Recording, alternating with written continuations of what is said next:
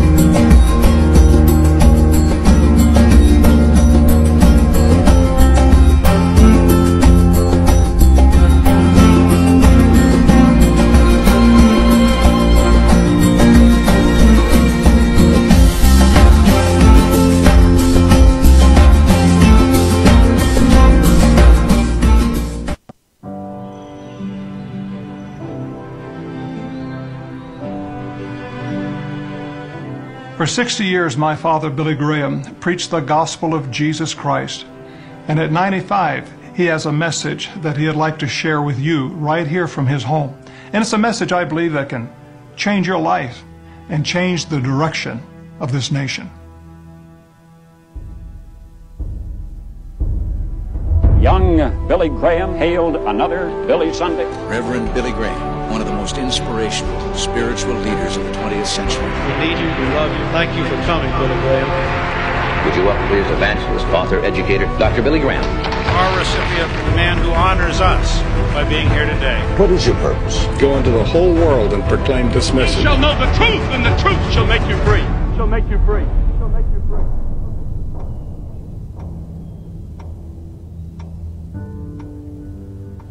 As I look back over my life, it's full of surprises.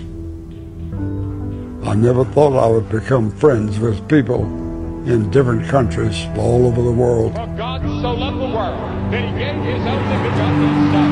I want us to look at the cross tonight. I see how God's hand guided me. When I began preaching many years ago, it is not with any thoughts that I'd be preaching to large audiences. Come to the cross. His gospel is for everyone.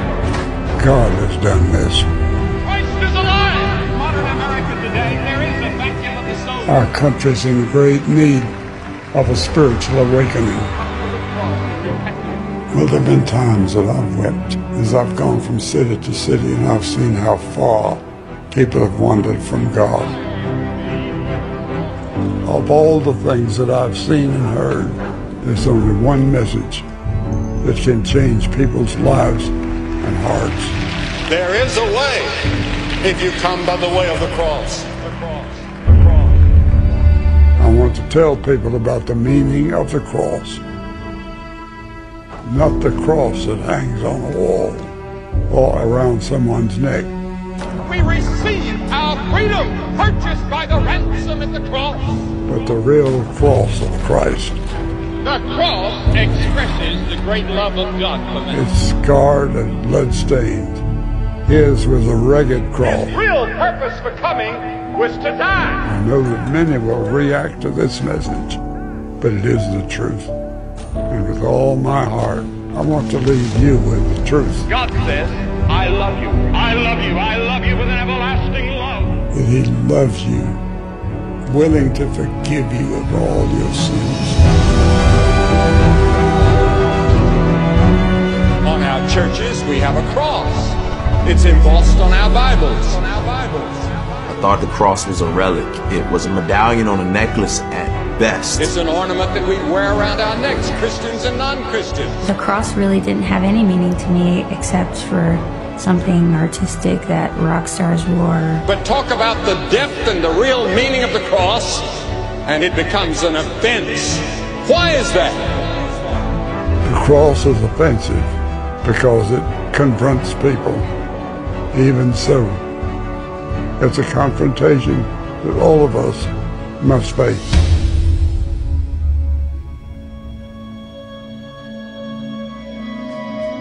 I was really hurting and just didn't understand the source of all my pain and, and, and, and problems.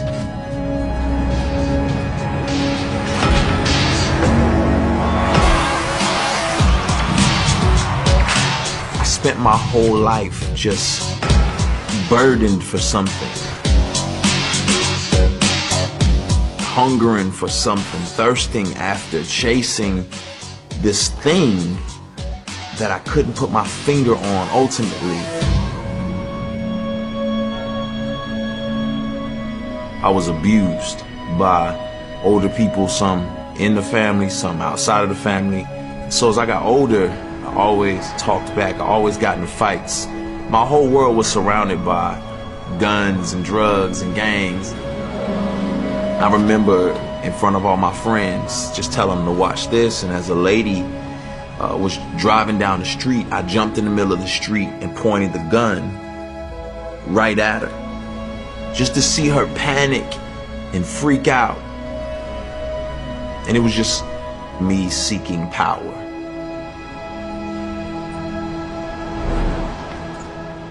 My mom always told me about God.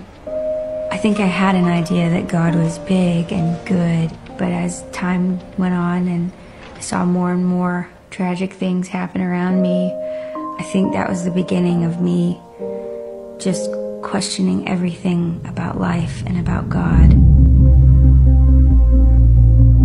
When I was 10 years old, my stepdad came to pick me up and he said that my cousin Kelly was dead. I remember being so mad and really just just deciding that if God was big and good, why wouldn't he protect my cousin who was so tiny and so awesome, such a funny, brilliant little guy? Why wouldn't God protect him from a huge muscle guy like his stepdad who beat him to death?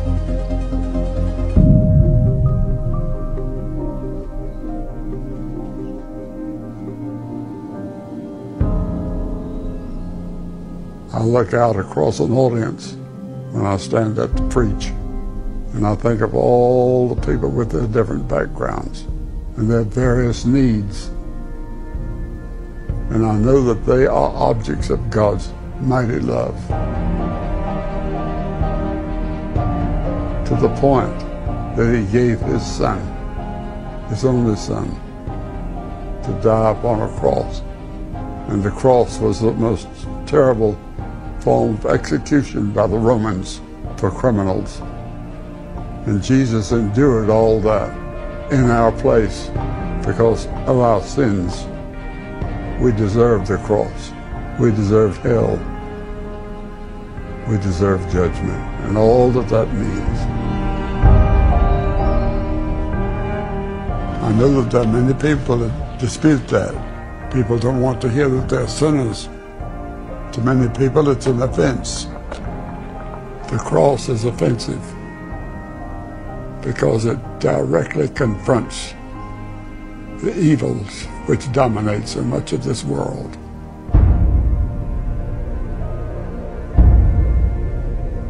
You see, the Bible teaches that all of us are wrong. We've all gone astray. We've everyone turned to his own way. And when we turn to our own way, we go astray from God's way. And that includes the whole human race. And that's why the world is in such terrible danger right now. It's not dangerous so much because we have atomic bombs. It's dangerous because of the human hearts back of the bombs, filled with envy and hate and strife and greed and lust and all the other things that could pull the trigger.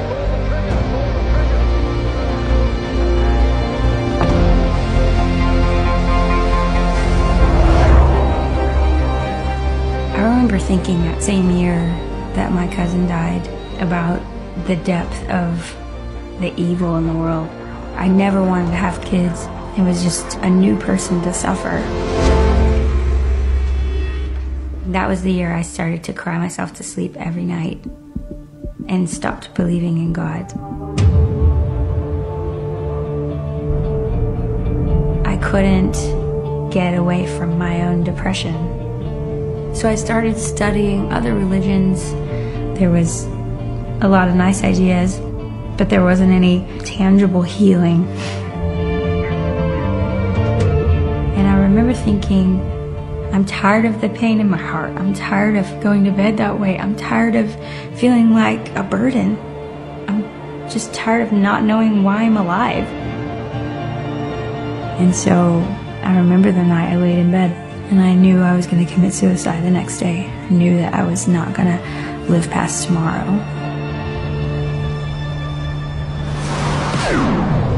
By 16, I was getting high on a daily basis and got involved with uh, woman after woman after woman. And, you know, when you mix drugs, you mix alcohol, you mix youth, it's cause for an explosion.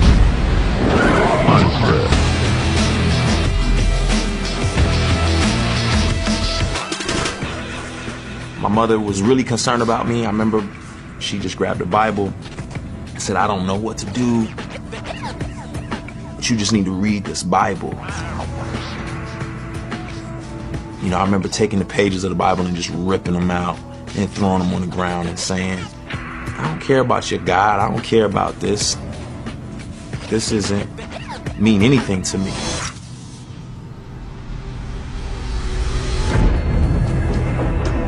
One reason that the cross is an offense to people is because it demands, doesn't suggest, it demands a new lifestyle in all of us. Sin is a disease in the human heart. It affects the mind and the will and the emotions, every part of our being is affected by this disease. How can we break this bondage? How can we be set free? God helps us break those chains. The Bible says, if any man be in Christ, he is a new creature. Old things pass away. Everything becomes new. He can make you a totally new person.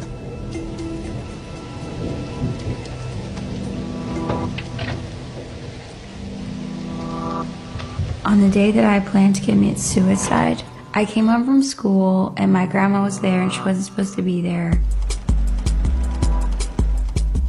And she looked at me and said, There's something wrong with you. You're gonna go to church. I was like, No way I'm going to church. And she screamed at the top of her lungs like we were fighting back and forth and I just didn't want to listen to her yell anymore. And so I decided, fine, I'll go and then afterwards I'll go ahead and follow through with my plan. So I went to the back of the church and slumped down in my chair and hated everybody in the room. And the pastor started speaking, and I hated him more than anyone. And he says, There's a suicidal spirit in the room. And of course, all the hair stood up on the back of my neck, and I was, well, this is really weird. and I got up and went to the door. A white headed man is standing there, and he stopped me. And it was like, The Lord wants me to speak to you. He wants you to know that even though you've never known an earthly father, that God will be a better father to you than any earthly father could ever be. God knows the pain in your heart. He's seen you cry yourself to sleep at night. The idea was so overwhelming to me. He's like, Do you want me to pray for you so that Jesus can take the pain out of your heart? He put his hand on my shoulder and started to pray. It was as if the God of the universe showed up right in front of me. And the first thing I noticed was that God was holy and good. And the second thing I noticed was that I was so not holy and not good.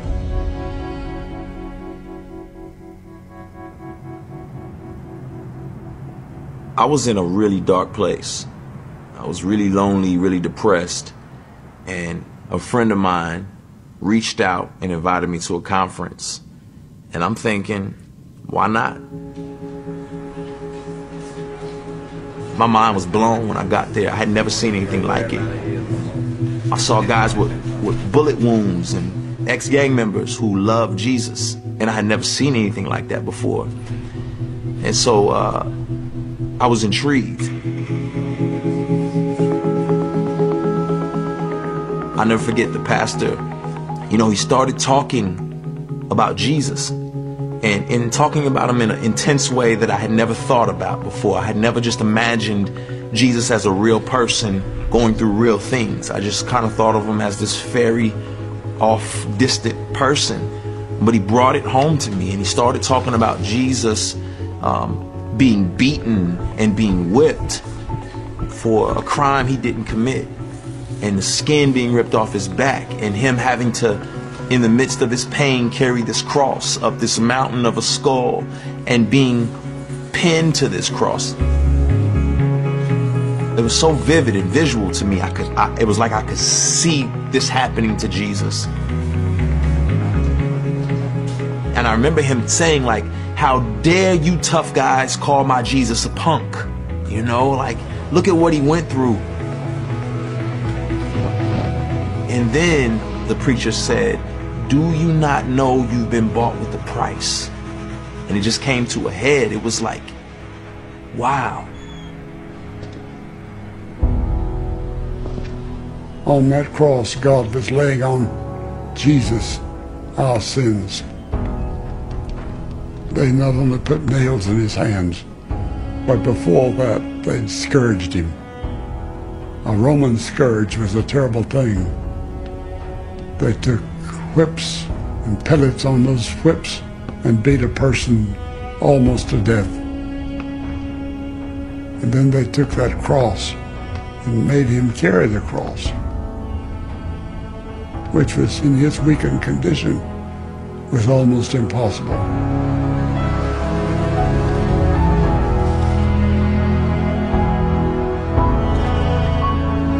But he carried that cross to a place outside of Jerusalem and then they put nails in his hands. But that was not the real suffering. The real suffering is when he said, My God, why hast thou forsaken me? In that terrible moment, he and God the Father were separated.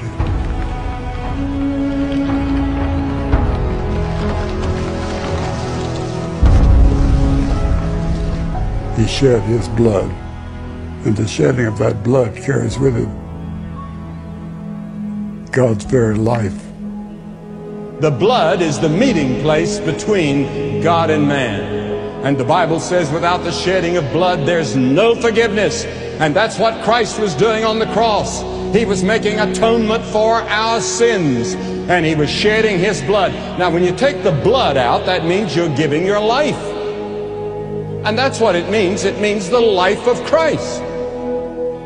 The cross and the resurrection of Christ offers forgiveness of sin, offers a whole new life, and offers you eternal life if you come to the cross by repentance and faith. Jesus lived. Hallelujah. Praise be to God. I greet you in the wonderful name of Jesus. Amen. You may be seated. Thank you. Okay. Praise God.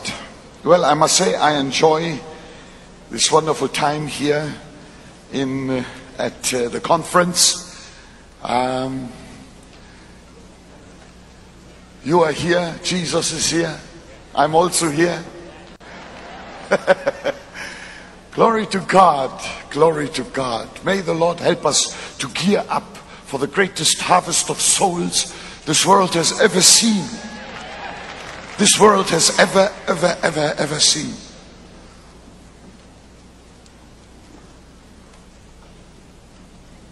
Um, I would like to share with you this morning from my heart. And uh, I believe the Holy Spirit will touch our spirits. You know,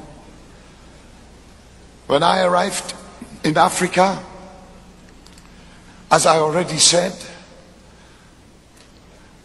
I uh, started below zero. And I'm sure anyone can start there. Some always want to start on the top, but in God's wisdom, trees grow from the bottom to the top. And that's where we all start, and we should never despise small beginnings. It is a matter of, of the Holy Spirit rearing us, bringing us up. There will be trials, there will be quarrels, there will be all sorts of unpleasant matters, but if you keep the divine call in front of your eyes and pursue it with all purpose, you will see the hand of God will lift you up. Hallelujah. Um, I had some fantastic, what shall I say, some, some very fantastic experiences right from my youth that kind of uh, uh, shoehorned me into this position. When I attended by the Bible College in Britain, um, after I had finished my studies, let me start off like this here this morning. Um, I think it is a very good introduction. I returned to Germany. I lived in uh, North Germany where my parents uh, were. And um, just north of Hamburg. I always say it's quite funny, you know, I grew up in Hamburg and later on I lived in Frankfurt, but I'm neither a Hamburger nor a Frankfurter.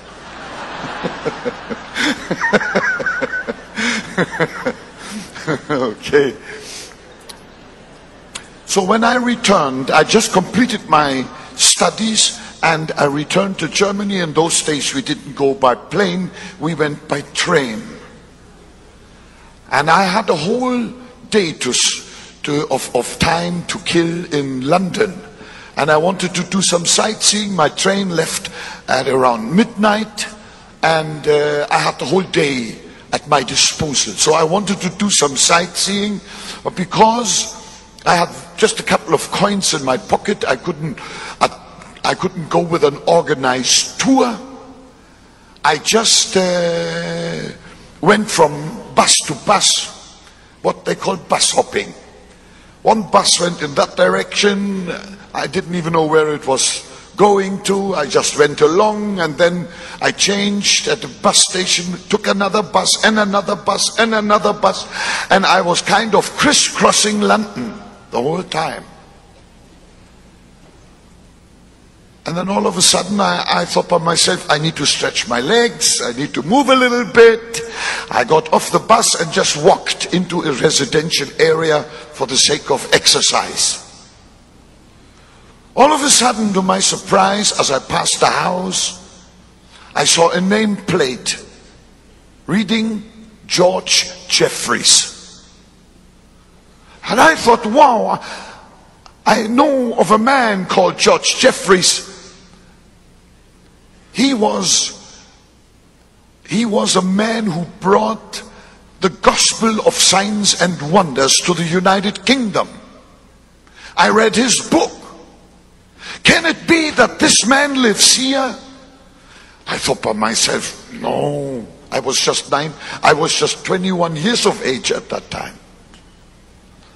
So my mind said, no, this is London. Jeffreys is a common name. There must be thousands. And George is a very common name. There must be tens of thousands.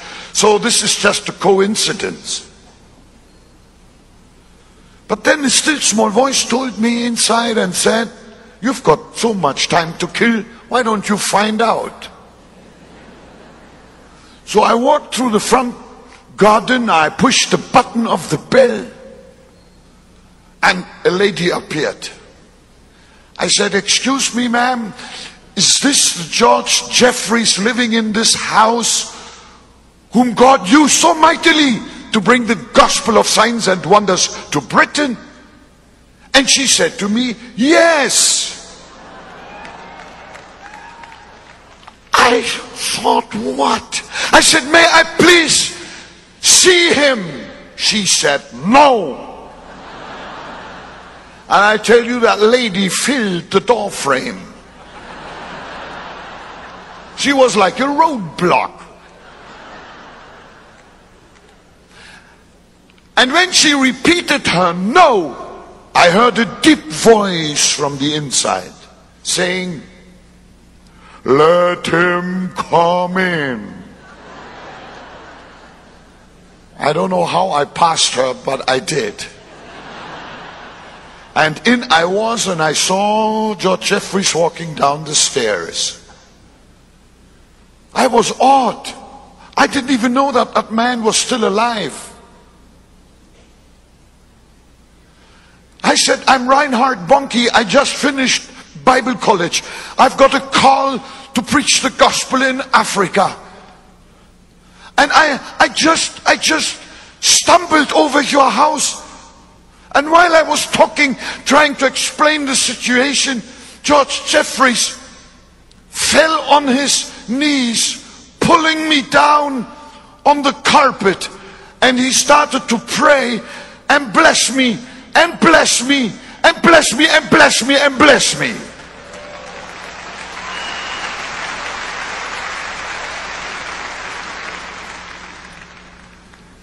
And the glory of the Lord filled that place. After 30 minutes about, I got up again. I was dazed. I staggered out of the house trying to find the bus stop.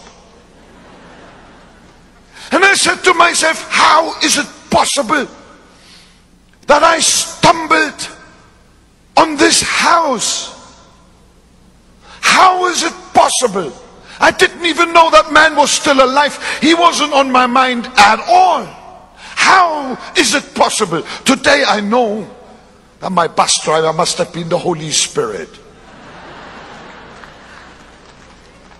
I caught the train in the night back home. In Hamburg, my, my dad picked me up at the station. After greeting, he said to me, Reinhard, I just heard the news that George Jeffreys has died. I said, What? Can't be.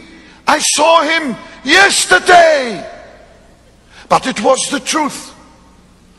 And then I realized, I think I caught a mantle.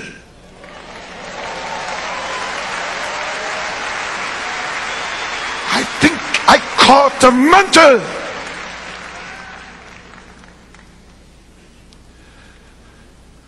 And that's how God does it. I need to explain here something. I don't think I got his anointing because I don't want my fullness from the fullness of any man. Out of his fullness we have all received. Only if we get our fullness from his fullness is would our fullness be the original fullness and not some copied stuff. No, I didn't get my anointing from him because I was already baptized into the Holy Spirit. But I'll tell you what I believe happened. I believe a connection took place there. I believe we are all connected, interconnected. God's anointed are interconnected from generation to generation to generation to generation. And God connected me there with the former generation of evangelists for this generation. And I feel in my heart, this is why I tell you the story here. I believe with all of my heart that connectors are going to be connected right here today. These things do happen. And it goes back, right back to the Apostle Paul. It goes right back to Jesus himself. May the Lord grant this. That we are not just hearers and enjoyers of the Word of God but that we get going. Go! What frustrates me, I, I want to be very honest with you, I'm not really going to conferences much. I'm not a revivalist. I'm not called to shake up sleeping Christians once a year. That I don't want, I don't like it. Next year they are sleeping again. And next year they are sleeping again. Oh, I tell you, may a fire start burning in your souls, and that will lift you out of your seats. Let me tell you even something worse than this. Jesus will lift you from the deepest pit, but he will not lift you out of your easy chair.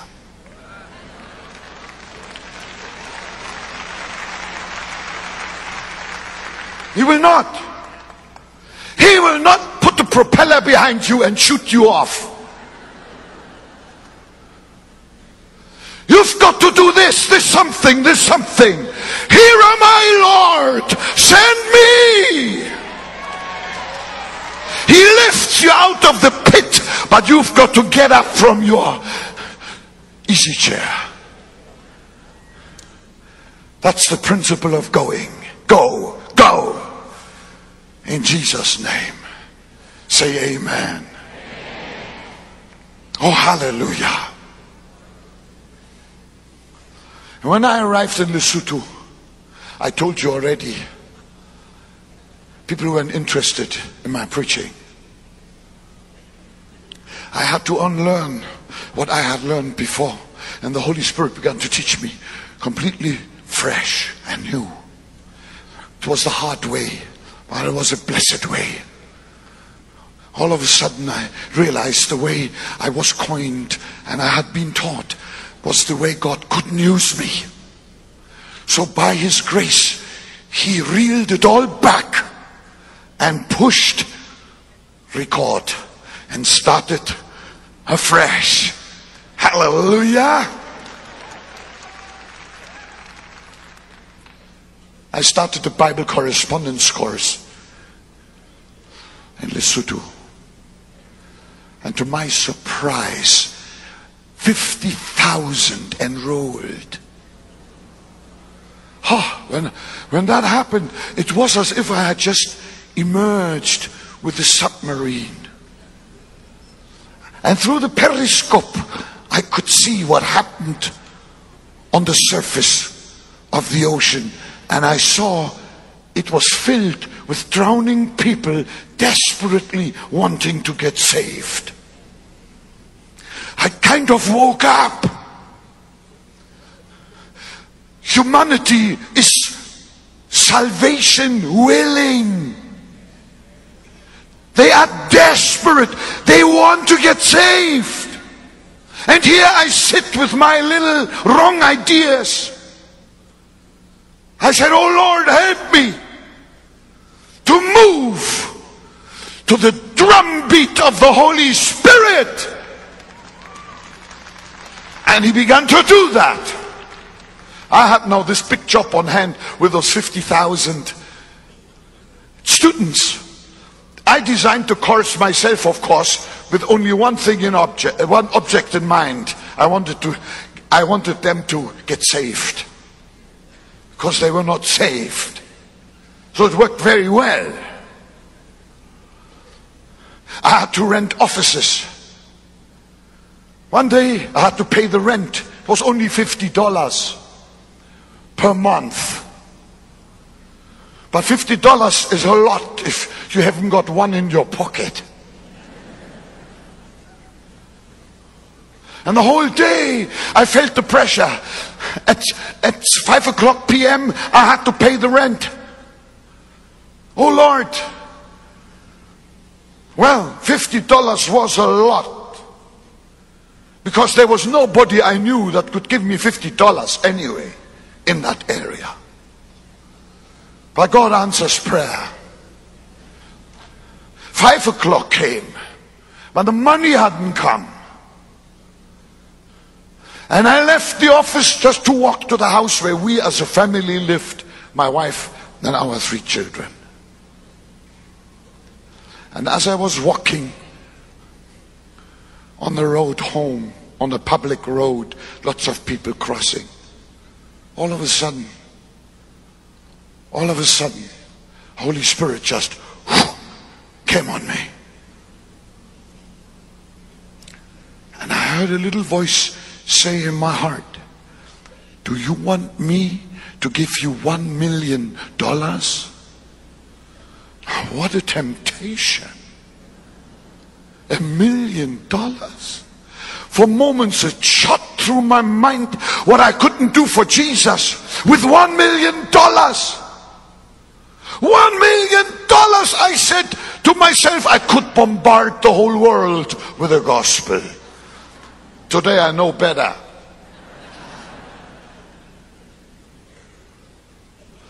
All of a sudden, a second thought crossed my mind.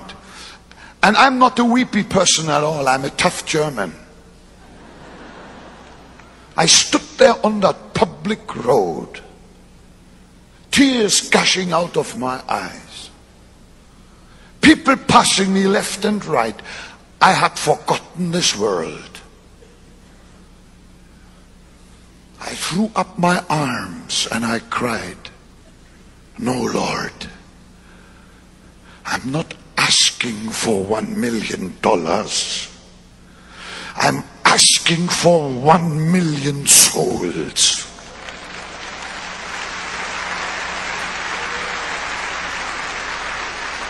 I said, Lord, one million souls less in hell and one million souls more in heaven.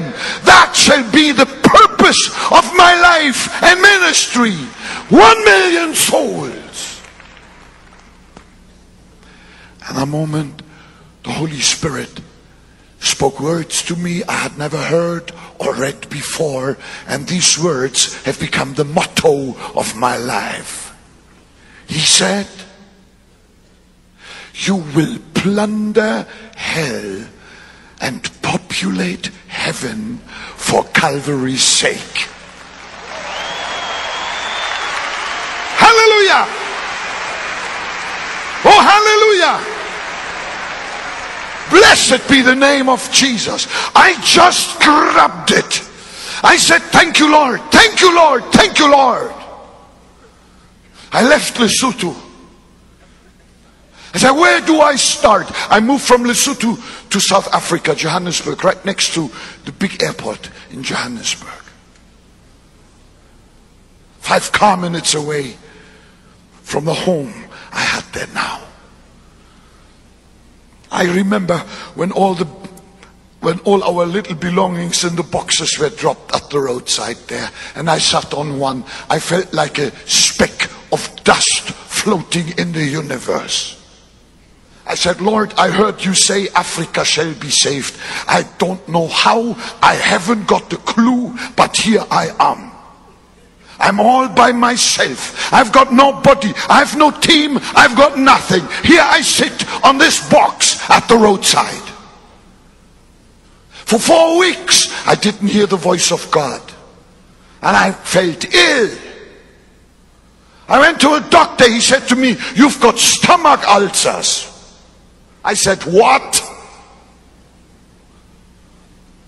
And then God spoke to me.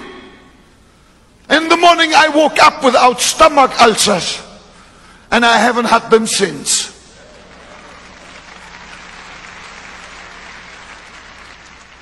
And I went to the little town of capital of Gaborone of, of Botswana called Gaborone. I went there for another matter. The local pastor expected my coming, and I arrived there. When I arrived there, I, I had to walk from the airport to town because I didn't have the money for the cab. And as I was walking, suddenly the Holy Spirit, He seems to find me on the road, came upon me and He said, Can you see over there? I said, Yes, Lord. It says there, National Stadium. And the Lord said to me, I want you to preach my word there. Wow. I said, Lord, I always had wanted to preach in a stadium, but the people never came. But if you say I'm to preach in the stadium, I will preach in the stadium. I met the local pastor. After greeting, I said, I want you to go with me to the authorities. I want to rent the National Stadium today in four weeks. My crusade is starting, the first one. I saw his chin drop. He said to me, What? National Stadium? What do you want the National Stadium for? Don't you know that I've got 40 people in my church? I said, no, I don't know about your 40 people, but I know a few minutes ago I heard the voice of the Holy Spirit. I tell you this on purpose because I believe this is how God will deal with you as well. He was humble enough to go with me to the authorities. And when I put my signature under the contract for the stadium, I started to perspire. I said, How am I going to fill that stadium? Somehow my mind played tricks on me. I already saw me in the National Stadium with sitting with 40 people. Know how our minds are? Conjuring up pictures I, I, I, quickly added a few days to my visit in Gaborone. I went from church to church. I said, I'm Reinhard Bonnke. In four weeks' time, uh, we have a great crusade here in the National Stadium. Would you please be so kind to cooperate? Everyone said no. But everybody also said, Who are you? I said, I'm Mr. Nobody, but God spoke to me.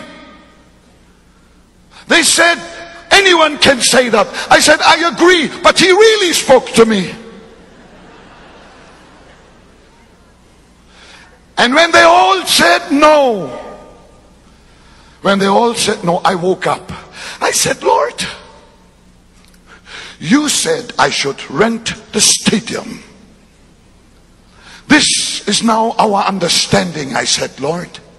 I do the preaching and you bring the people. Peace came into my heart. I flew back the same day.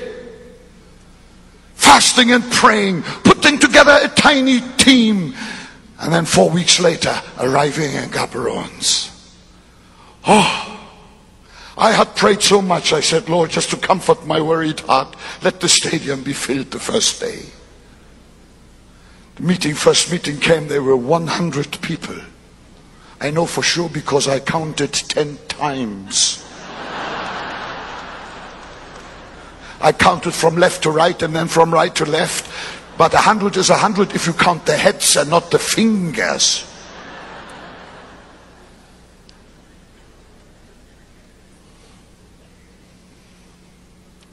I took my Bible, I opened the Bible, I began to preach. I was very disappointed. I preached about 10 minutes and suddenly jumped up over there and shouted, I've just been healed! Another one, another one, four. And I thought by myself, that is funny. I didn't even preach on healing.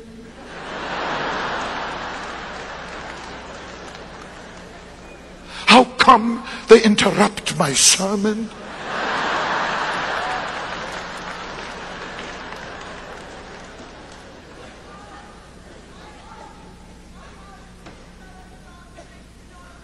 Hallelujah, hallelujah. Psst. Praise God. I said, How is it possible? Today, of course, I have the perfect answer. Because I tell you for sure that Jesus often can't wait until we preachers have finished with our boring sermons. He itches to act. Say amen. He needs, he needs little persuasion. Our God is the God of action. And he delights to show his glory. He is a savior who wants to save. To save us. Oh, praise God. Then I called the people forward. I went down, I laid hands on them. Until then, I had never seen such a thing. Everyone I touched collapsed. I was frightened. I'd never seen this. I heard, I heard this happen somewhere in America. I had never seen it. As a matter of fact, I didn't know whether the people were just playing or what. I stooped down and I opened some eyelids. And I only saw the white of the eye. Then I knew this was real. But one woman fell down being blind and came up seeing. And one man went down as a cripple and came up leaping. I thought that place exploded. Oh. The next day, within two, three days, for the first time in my life, I preached to a packed stadium. That's how it all began. That's how it began. An absolutely packed stadium. For the first time in my life, I saw thousands of people getting up all at the same time before I made an altar call. First, I didn't know which direction they were going to go. But they came running forward and they were kneeling there weeping, and the Holy Spirit, conviction of sin. Then I knew Something, something has happened. I was longing for so much. Then the Lord spoke to me. I tell you this because this is the pattern, the foundation God laid for my present day ministry. And the Lord said to me, Tomorrow I want you to pray for the baptism in the Holy Spirit. I said, Lord, not in a public stadium. No, I came from the German church.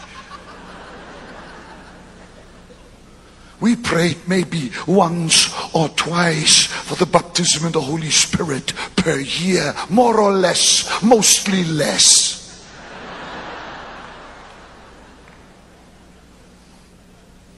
And when the holy day came, we locked all the windows, we drew all the drapes. We locked all the doors. Nobody was to hear how we would praise the Lord in new tongues. I said, Lord, you want me to preach on the baptism in the Holy Spirit in a public stadium? The Lord said, Yes, I have a very good reason. I said, Lord, what is it? Please tell me. He said, In the last days, I will pour out of my spirit on all flesh. And there's so much flesh around, I can't fit them into a prayer meeting. Oh, I said, Lord, forgive me. I stood up, I said to the people, tomorrow you're going to see what human eyes have never seen before. I didn't tell them that I hadn't seen it myself either. I said, the Holy Spirit is going to fall in the middle of the stadium and you will all be filled with power from on high. Oh! The next day, capacity crowd. I was just about to start when a friend came to me and said, Reinhard, can't you please change the subject? I said, why? He said, the bishop has come. I said, no change of subjects. It's a high time. High time the bishop hears about it. And then I started to preach. I said, How many of you want this glorious gift? By mistake, it was forgotten to mention anything about new tongues. Clean forgotten. Can you believe it? Clean forgotten. And I wanted to get up and correct that mistake. The Lord said, Leave it. There the people stood wanting to have that gift. Oh. I said to them, lift your hands and close your eyes. But I kept my eyes open. I wanted to see. And then, as the praise was swelling up, I saw it. Gigantic wave of transparent, beautiful water moved in from my left side, slowly racing through that stadium. And as I saw the, that wave sweep over the crowd, everyone it touched, all the people in the stadium fell on their backs and were praising the Lord in new tongues as the Holy Spirit gave them utterance.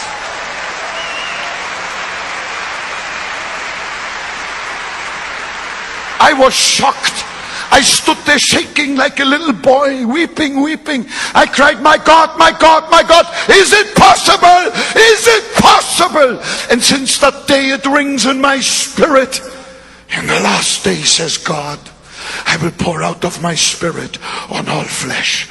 Australia will be filled. Filled. You shall be filled. New Zealand will be filled. Will be filled. Southeast Asia will be filled. China will be filled.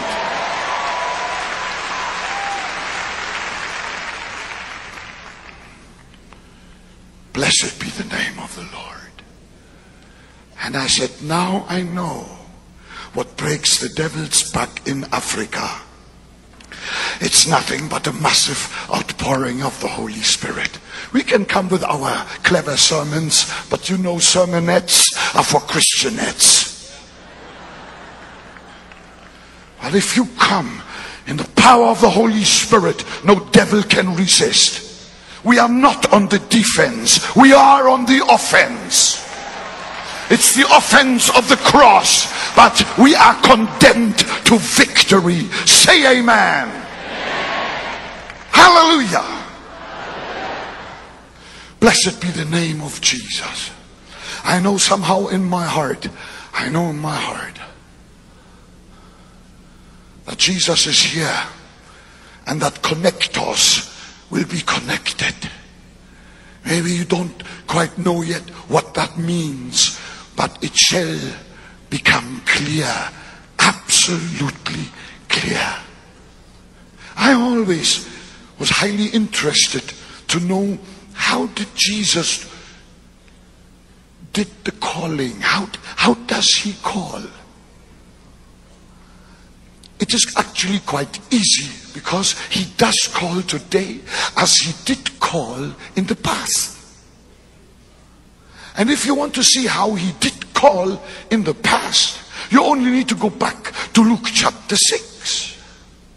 Verse 12 says, Now it came to pass in those days that he went out to the mountain to pray and continued all night in prayer to God. And when it was day, he called his disciples to himself, and from them he chose twelve, whom he also named apostles. Simon, whom he also named Peter, Andrew his brother, James and John, Philip and Bartholomew, Matthew and Thomas, James the son of Alphaeus, and Simon called the Zealot, Judas the son of James, and Judas Iscariot, who also became a traitor. Now, let me draw your attention to one or two important matters. Jesus was on his way to pray early in the morning. It says here, so, sorry, he went there late at night. He prayed all night. All night, scholars say, means 12 hours. Let's say 7 o'clock in the evening to 7 o'clock in the morning. 12 hours. After all, he wanted to choose 12 apostles. He, I'm sure, possibly wanted to dedicate one hour of prayer for each of them. Can you imagine Jesus praying? I always wondered, how did Jesus pray? Wouldn't you be thrilled if you knew Jesus had prayed a whole hour for you? Huh?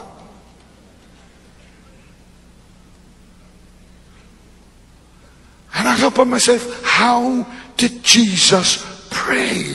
How did he pray? Did it take so long for the Father to give him the names of those people? And then, early in the morning, he came down from the mountain. And now listen. When, if I read the record right, when Jesus chose his apostles at random, or I get the feeling he chose them as he bumped into them.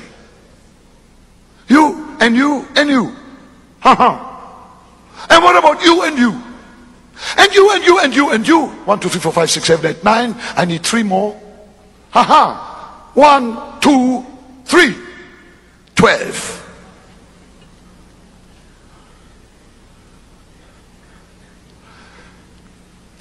Please, excuse me, I don't want to be disrespectful to Jesus.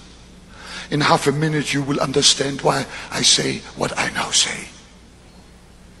I thought by myself, I don't need to pray for 12 hours and then go and make such bad choices. Just have a look whom he chose. There was Peter, impetuous Peter. The very Peter who betrayed him. Oh my God! Jesus chose him. They were the sons of Zebedee.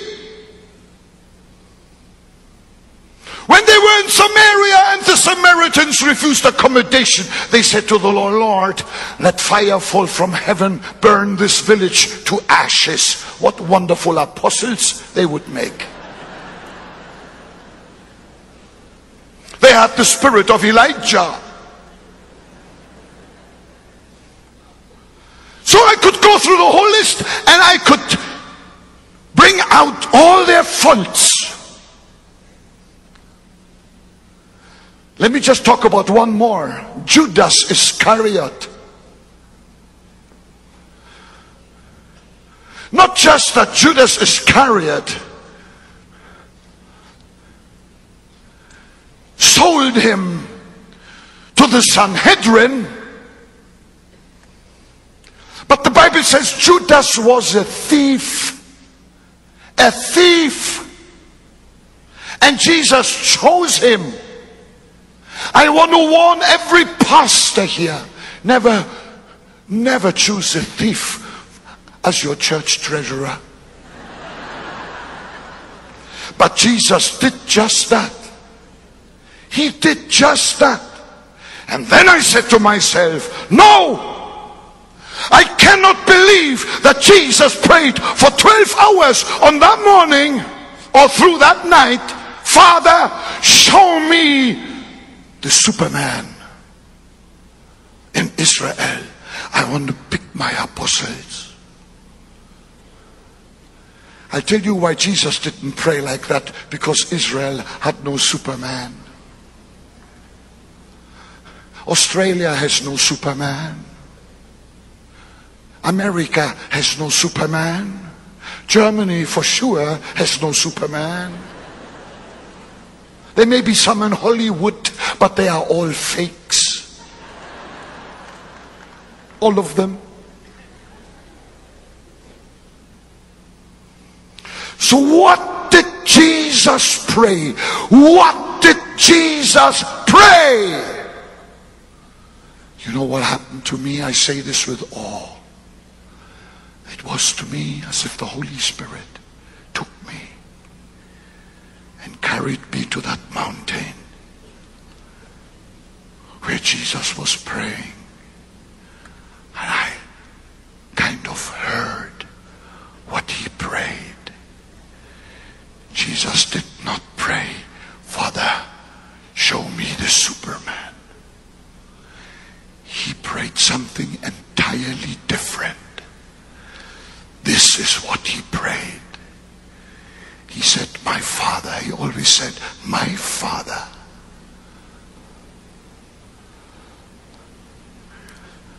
You know that I have to choose my twelve apostles. Help me not to plan success as the world plans success. Help me not to choose as kings and rulers choose. Father, not my will, but your will be done. It took 12 hours for Jesus to get the victory over that one point.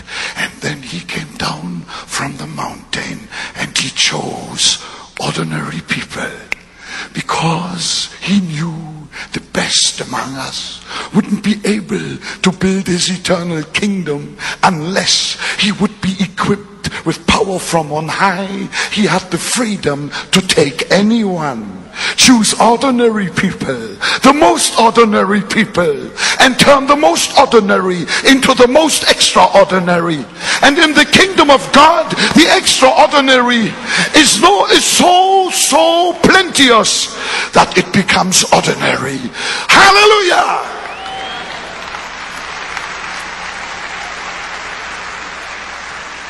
I tell you how we would have chosen.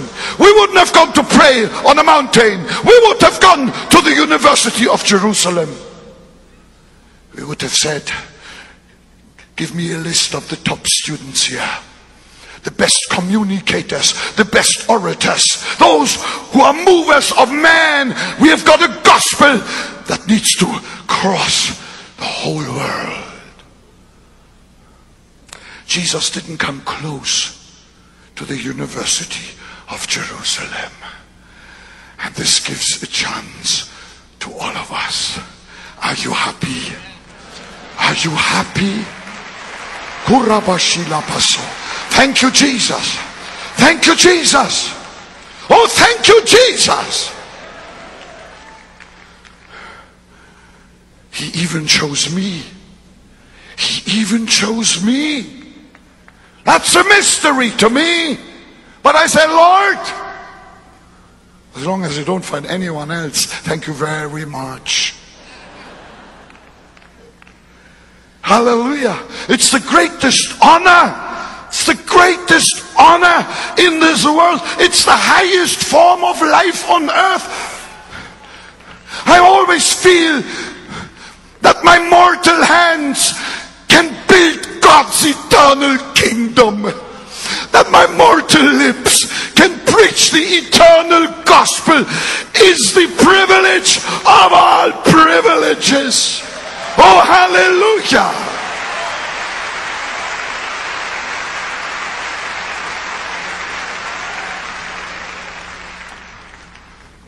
When we were fleeing uh, during World War II, my family was fleeing from East Germany to the West, and we arrived in Denmark. We Germans were all put into refugee camps, and from my fifth year to my ninth year, all I knew was barbed wire. There was no proper school. There were no qualified teachers. And when at age nine we were repatriated to Germany after finding our father through the Red Cross, I was, they put me into the school of my age group. I had to catch up three years that's why I struggled at school, not because I was dumb, but I had that disadvantage. I struggled. I struggled and I struggled until I caught up. And it was very easy. But I felt, I felt so inferior. My scores were so poor. And I prayed and I struggled. In Germany, when somebody is no good, we have a special name for them. We call them zeros.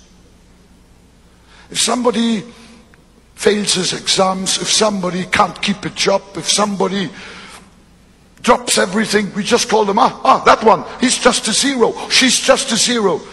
Zero in German is null. We call them nullies. That is just a zero. Well, I tell you one thing. I was a zero when God called me at age 10. But I responded. I was so moved. I was shaking and crying. I responded. And Jesus said, Reinhard, come. I want you to preach the gospel in Africa. You know what happened? I was a zero. And when I responded to the call of Jesus, I discovered that he was the number one. And when I, the zero, stood next to him, we together were already ten.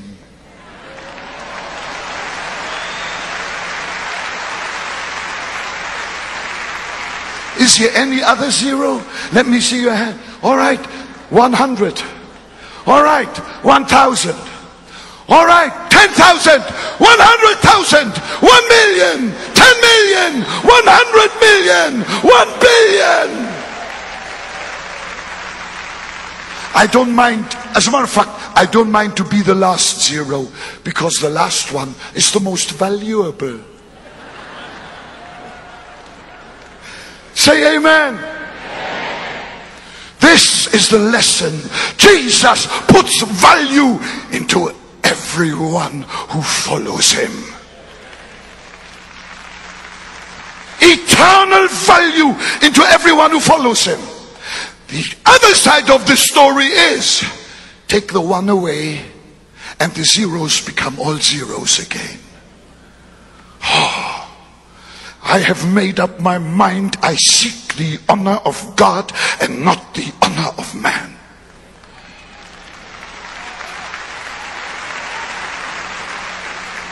I'm not interested in applause.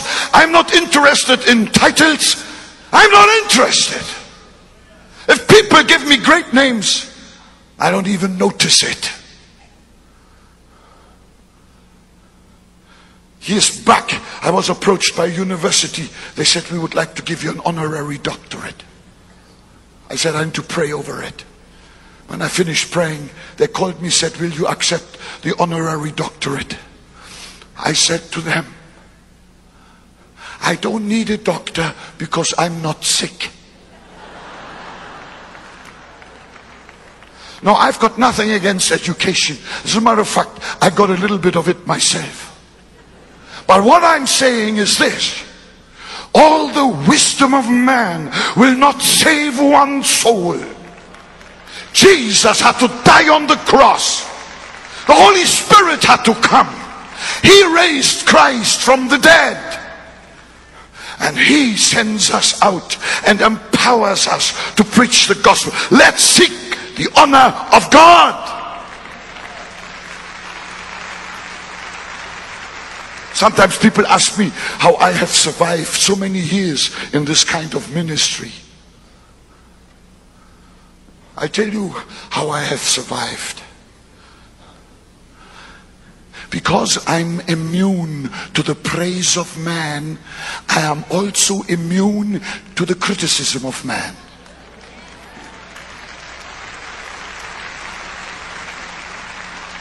If you love the praise of man, the criticism of man will destroy you. But I'm on nobody's payroll. Here am I as a servant of God. I want to plunder hell and I want to populate heaven. Hell empty, heaven full. In Jesus' name. Say amen. Glory to God. Glory to God. Glory to God. I want to die one day with a microphone in my hand. And although I believe connectors are going to be connected here today by the Holy Spirit, don't you get the idea that I'm going to die tonight?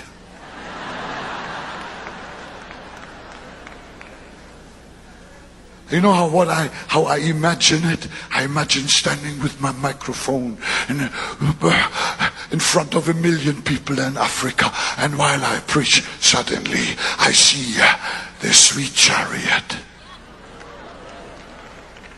Oh, coming lower and coming closer, closer, closer, and when it passes by my platform.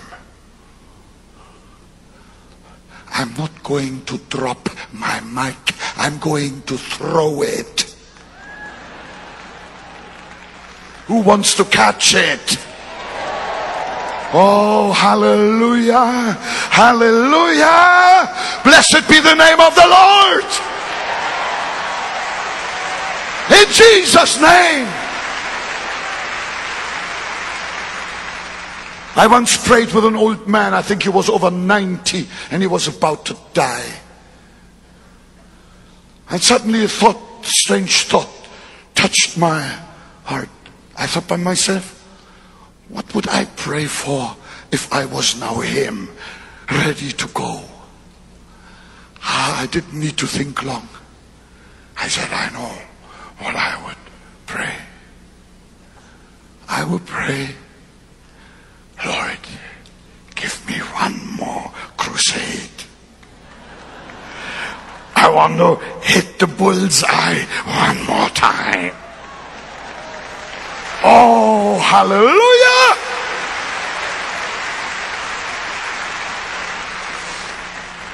I feel the finger of God is here this morning and he's touching. You may be already a preacher with all his certificates and with everything he has and wants. That may be very, very well true. But God has got something more for you. He's looking for men who just throw themselves upon the Lord. Men and women! In Jesus' name!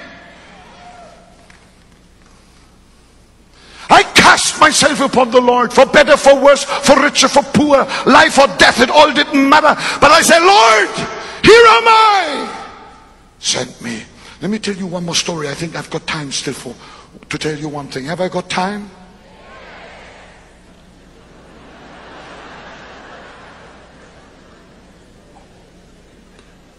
This is my petrol. I had a crusade in in in the Congo, Lubumbashi. The stadium was packed. In those days, we still had the crusades in the stadium. Today, we have the fire conference in the stadium. In the afternoons, I don't allow anybody to interrupt me. I pray, I prepare, I focus for the evening. I was on my knees at my bedside. I just opened the Bible. I wanted to read where I had left off when the Holy Spirit said to me,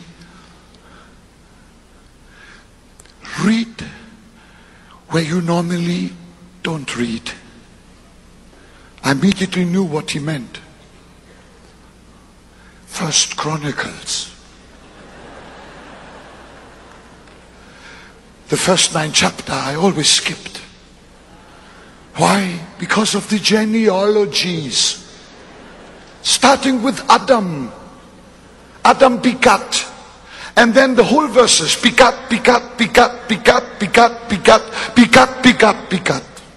I could never get any blessing out of begetting.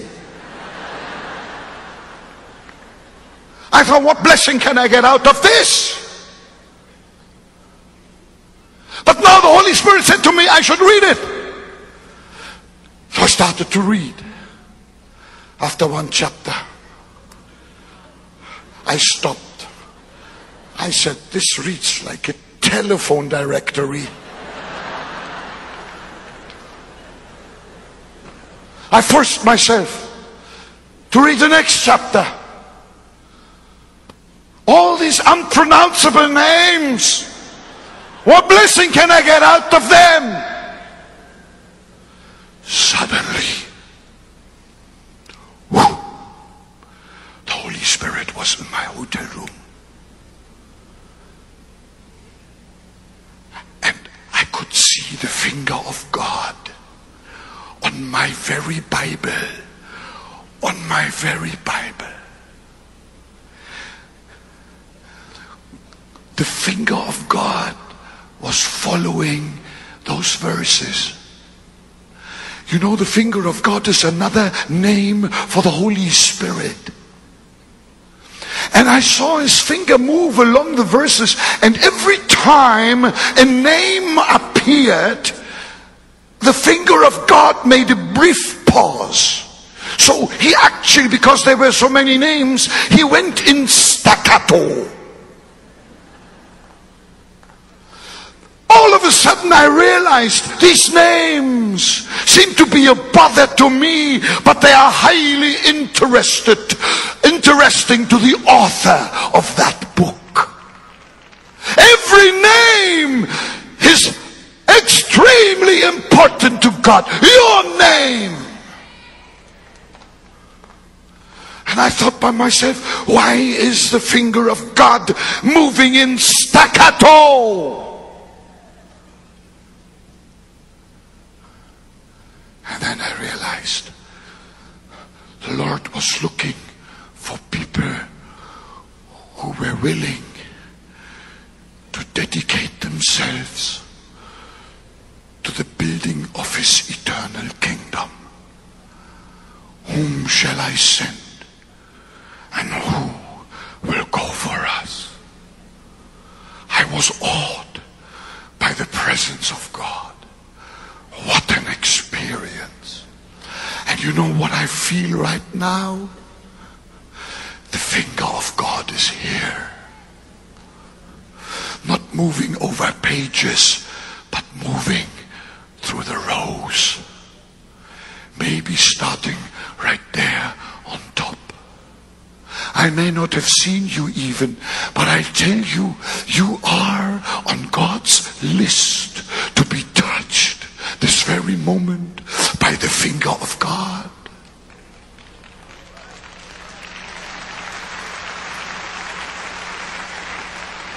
He's looking for people who are willing to throw themselves into his arms, who don't calculate always according to business principles.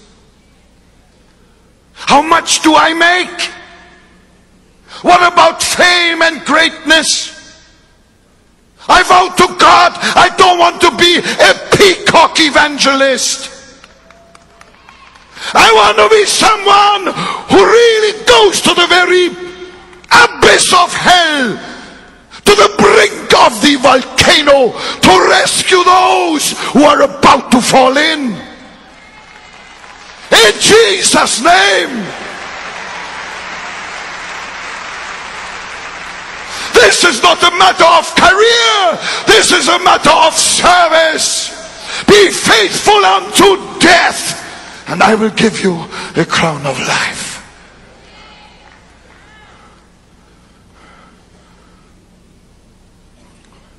This is the call here. Jesus is willing to call any zero. And the moment you respond, he sets himself in front of you and you will change. It's amazing. It's absolutely amazing. And the finger of God is here. If you say yes, well for you. If you say no, you may leave here. But one thing will never leave you. The fingerprint of the finger of God is forever impressed on your soul and on your spirit. You will never get rid of him. I promise you.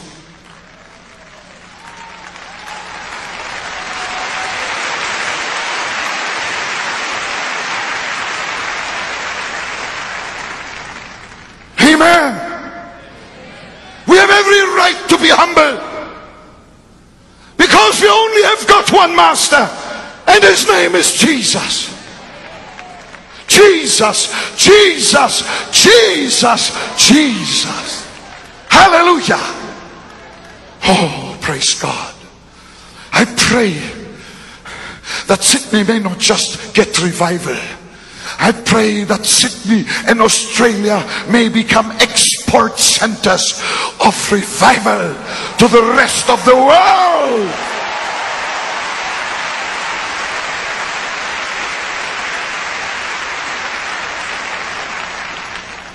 Whom shall I send? Who will go for us? And he cried, Here am I, Lord, send me. And if you're one of them, jump to your feet right now. Just jump to your feet. I wished I could lay my hand on you. I can't because the, the arrangements here don't allow it. But I'll tell you one thing the finger of God has already marked you and touched you. And God means business with you if you are serious with Him. Some of you have been already called 10 times and you don't need to, to, to stand up again. You should rather go and buy a suitcase and a ticket and go and Jesus will go with you. This is what I'm telling you as an evangelist who comes from the very front line. Some people are so obsessed with getting the approval of man. You need the approval of God. And that flame on your head is your legitimation and is your authority and your ordination in Jesus' name. Rescue the perishing, care for the dying. Close your eyes, lift your hands. Let's worship Jesus. Dedicate yourself. Come on. Lord, I pray that you may now lay your hand on every head in the name of Jesus. I pray, Lord, that all excuses of the past may and shall melt away and shall never be found ever again. In the name of Jesus, I pray, Lord, that connect us will now be connected with those who went before us. We will take their torch, their burning torch. We will take that burning baton and carry it to the finish line. Australia shall be saved. China shall be saved. Indonesia shall be saved. Oh my God! Papua New Guinea shall be saved. Southeast Asia shall be saved. India, India, India shall be saved. And Lord, I pray, mark everyone that lifts their hands to you. Mark them. Mark them with that flame from above in the name of Jesus. And I pray that they may never ever forget what has happened today in Jesus' name. Come on, let's worship him. Worship him.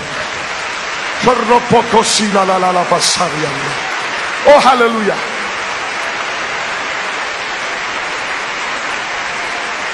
Oh, hallelujah. Oh, hallelujah. Oh, hallelujah. Kurababagashia sarianto robopokoshia. Ilala masarra pokoshika la basia. Ikaroposhiam dololobosia. Isharabosio rolobosia. When you go through fire, saith the Lord, it shall not burn you. When you go through water, it shall not drown you. I am with you, says the Lord, and I will increase you, and I will strengthen you, and I will give a nation to you, said the Lord. I will give a nation to you. I have already given a nation to you, saith the Lord. Therefore, go. I am with you. And you, your spirit, your soul, and your body shall from this moment on become a riverbed for the life giving flood of my spirit, says the Lord. Amen.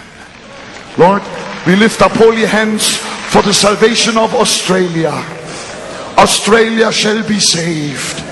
Come on, agree with me. Australia shall be saved. New Zealand shall be saved. Oh, Fiji shall be saved. The Solomon Islands shall be saved. Irian Jaya shall be saved.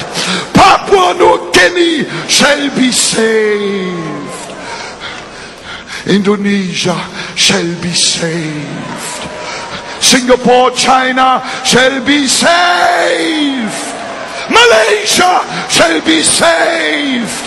And India shall be saved. Lord, I thank you that your fire will race across this globe in Jesus' name. And we will follow the fire in Jesus' name. Amen.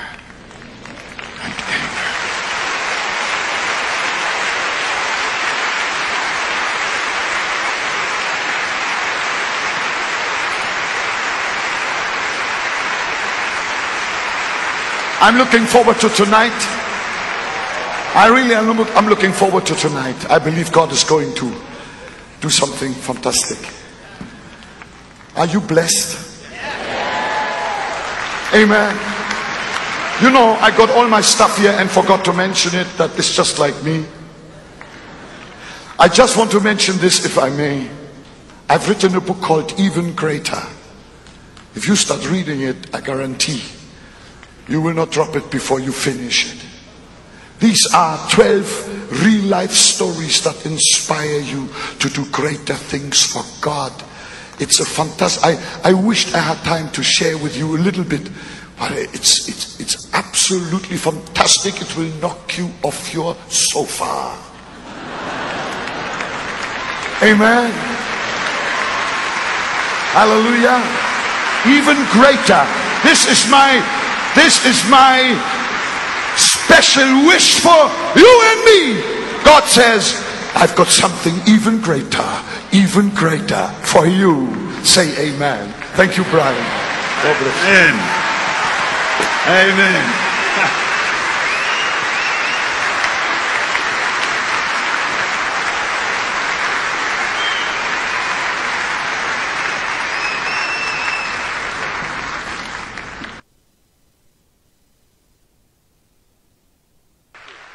Thank you so much. Thank you so very, very much.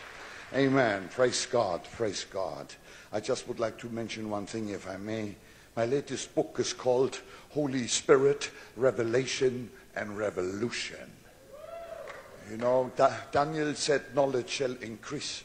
And since Azusa Street, knowledge has increased greatly. Here on this subject, we are all witnesses to that. And you can get it right here in the bookshop. And then this book, even greater. I don't know if any one of you has got that already. Well, I tell you, if you read it, it knocks you off your sofa.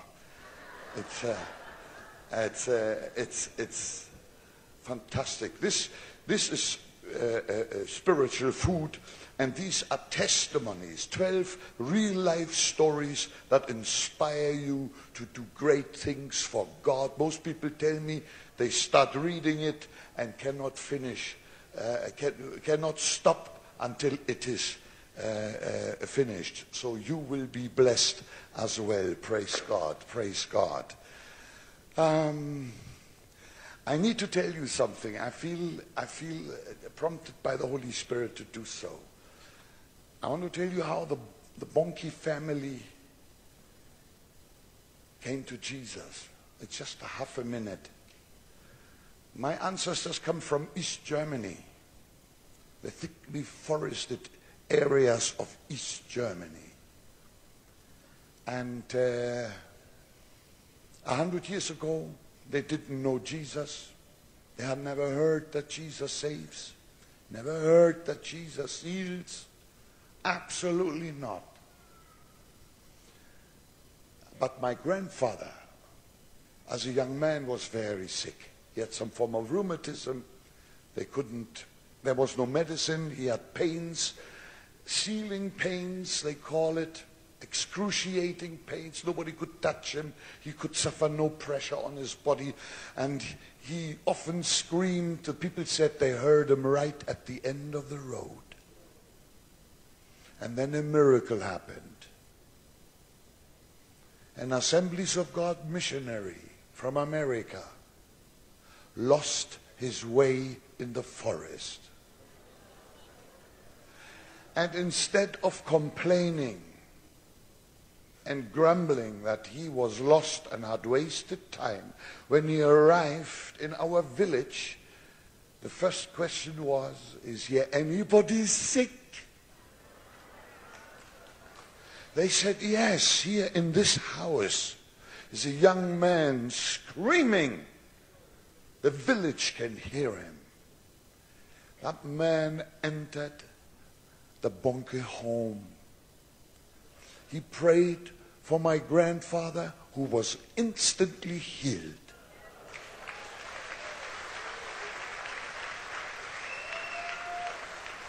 And my family became born again. That man was an old man. Four years later, he died. I never met him, of course. But one thing I know for sure when that man entered my ancestor's house, the Holy Spirit put a thread through the needle. And I believe that man in heaven will get a reward for every soul I was able to win here on earth.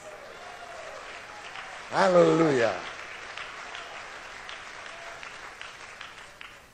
And I feel in my heart the Holy Spirit is here to put the thread through your needle. Young men, young women, the next generation is crying out. They need to hear the gospel. Whom shall I send and who will go for us? Amen. And that brings me right to my subject because the Great Commission, Mark 16, 15, Matthew 28. We'll find it. I find it everywhere. The longer, the more I read the Bible, the more I find the Great Commission everywhere. Go into all the world and preach the gospel to every creature. Go into all the world. These were the last words of Jesus. And I'm sure that we have to attach great importance to his last words. The last words are very important words. Jesus did not die for us to get a great career or for pastors to have a well paid job. Jesus died according to his own mouth to seek and to save those who are lost. That took him to the cross. That is the heart of the gospel. It's the cross and it's the blood of Jesus. It's his burial, resurrection, and ascension. What a mighty God we serve. Go into all the world. Go. Why don't you go? I, I have a burden to preach this. And again and again and again. I pray that people may be stirred up by the Holy Spirit. The older I get, the greater the urge seems to be. I want to help young men to do what I also do. I'm happy to see these young people here in front when we were worshiping. I remember my own days when I was their age. How wonderful, how glorious, and how God had, Jesus had captured my heart and given me a hunger for the things of God was unbelievable. And then, all of a sudden, you know, God began to use me. Jesus said, Go, go, go. I always wondered why he kept saying, when I read it, I have the impression Jesus was just almost pushing them. He pushed them. Go, why don't you go? Why don't you go? Because God goes with goers, but He doesn't sit with sitters. And He doesn't sleep with sleepers. He goes with goers.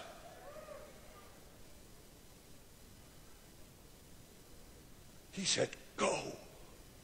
And then I, I, had a revelation. Let me just quickly share that with you. From Genesis chapter 1. Why it is so important to go and preach the gospel. I suddenly saw, I suddenly saw the foundational relationship between the Holy Spirit and the Holy Word of God. The working relationship. What is the working relationship between the Holy Spirit and the Word of God? And that answered, when I saw what I saw, and I'm going to share that with you, it answered a thousand questions that I had in my mind. Genesis 1 1 In the beginning, God created the heavens and the earth. The earth was without form and void. Darkness was on the face of the deep, and the Spirit of God was hovering over the face of the waters. Then God said, Let there be light, and there was light. Imagine this prehistoric ocean of matter boiling, roaring Thank God we weren't created yet.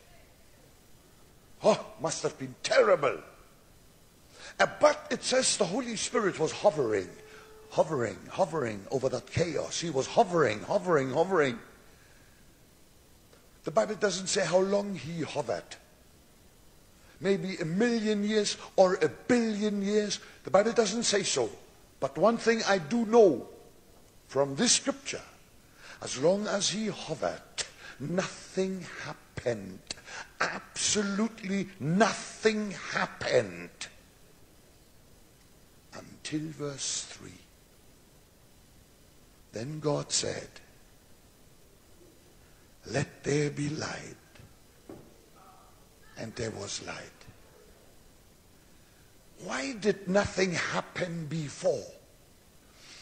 The Holy Spirit cannot work on his own. He was waiting for something. He was waiting for the word. The Holy Spirit cannot work without the word. Somebody has got to speak the word of God. And then the Holy Spirit will just interrupt his hovering and there will be light. There will be salvation. There will be deliverance. Oh, hallelujah. And now I see Jesus push his disciples saying, Go, go, go, go into all the world. Why don't you go? The Holy Spirit is hovering somewhere, waiting for somebody to come and preach the gospel. It may be a nation, it may be a city, it may be a family. He's hovering, hovering. He needs people to rise and go and say, Thus says the Lord. Now, that is the working relationship between the Holy Spirit and the Word of God. We do the preaching. Of course, of course, you know, the Holy Spirit is not obliged to confirm what you preach if you preach politics. He's not obliged to cooperate when you just give your own opinion. The Bible is not a collection of Christian opinions, it is the eternal Word of God. If we preach what the apostles preached, we will get what the apostles got. It's the original gospel. Speak the word of God as you find them in scripture. And I tell you, the Holy Spirit is very keen and eager to comply. Oh, hallelujah. Blessed be the name of Jesus. Blessed be the name of Jesus. Hallelujah.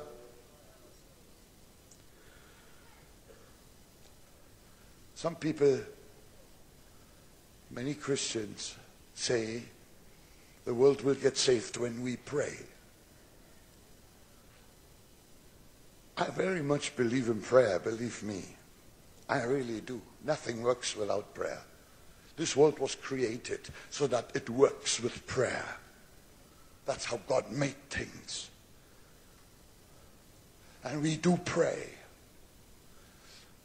But the world will not get saved if we only pray. Do you hear me?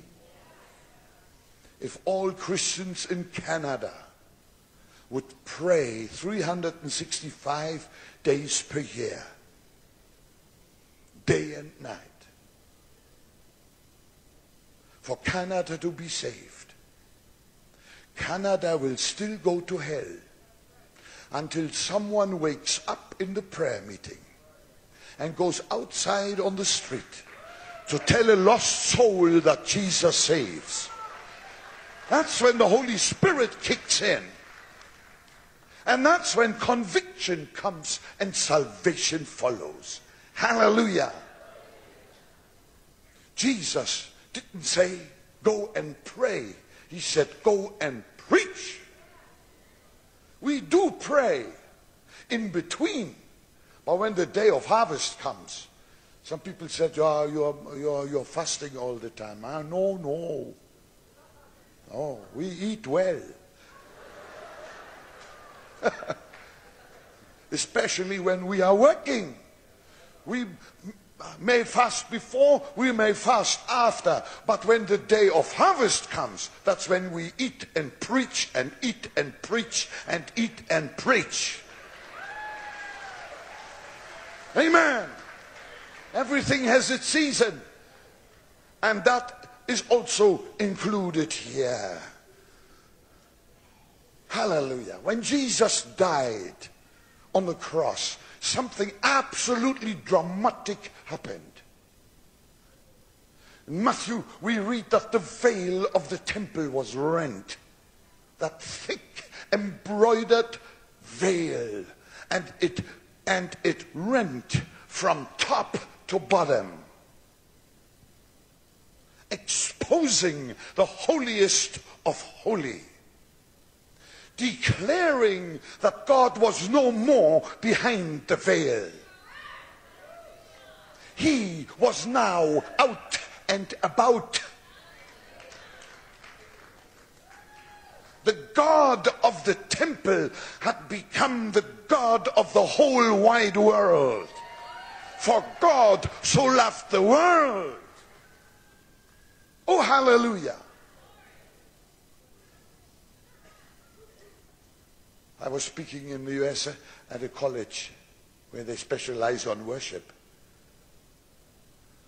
Now, I was there an evangelist, and they, the dean said, uh, We have an evangelist here. He, he, will, he, he will speak to us. Well, you can guess what I spoke on. I only got one theme. Hallelujah. I feel this is so important I can't get away from it. So I preached on how to win our generation for Jesus Christ. When I was gone, one student was my friend there, so I heard what happened afterwards. The dean said, My dear students, you just heard an evangelist. We just studied the tabernacle. We are in the holiest of holy. We worship. He is in the outer court. Well, when I heard that, I thought if I had anything to say in that college, Bible college, I would send the dean back to school. Has he not re- read that the, the veil in the temple was rent? We cannot hide behind a veil. Jesus is out and about. And I give you an even specific, more a, a, a geographic description of where Jesus is right now. He's here. He's here. Christianity is not a religion for pilgrimages. We do not find Jesus in a shrine. Our bodies are the temples of the Holy Spirit. And when he says, go into all the world, we go into all the world and we preach the gospel to every creature. Say amen. Hallelujah, hallelujah, hallelujah, hallelujah. Jesus said that he would be wherever we are in indis, his indiscriminate, his indiscriminate faithfulness. He's faithful. He's always here. He said, go. And I tell you why, yes, we have to go. If we don't go, Jesus will never arrive. Did you get that? If we don't go, Jesus cannot arrive. But when we go, he goes with us. May God help us. I said it before and I say it now. Jesus will lift you out of the deepest pit, but he will not lift you from a soft armchair. You've got to get up yourself. You've got to volunteer and say, Here am I, Lord. It's me. It's me. It's just Reinhard. But it's me, Lord. I want to go and I want to follow you. Hallelujah. Blessed be the name of the Lord. The church is not a government restaurant for fine food. It's a canteen for workers.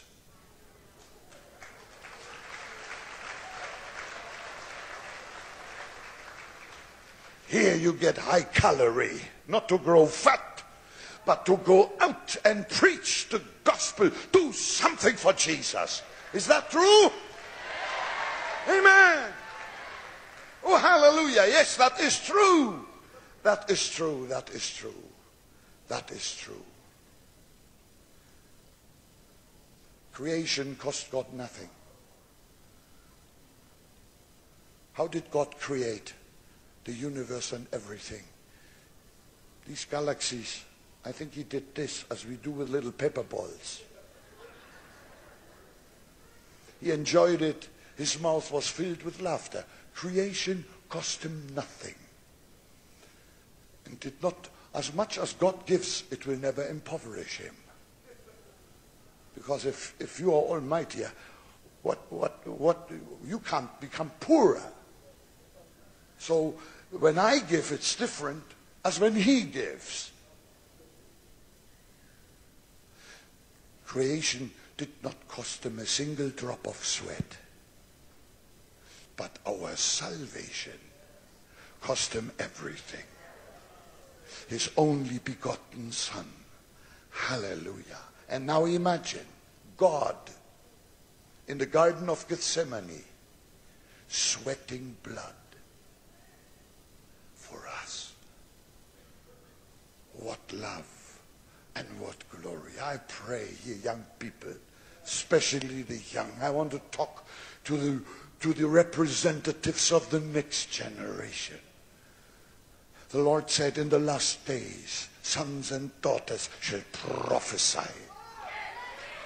Hallelujah! Young men shall see visions, not just television.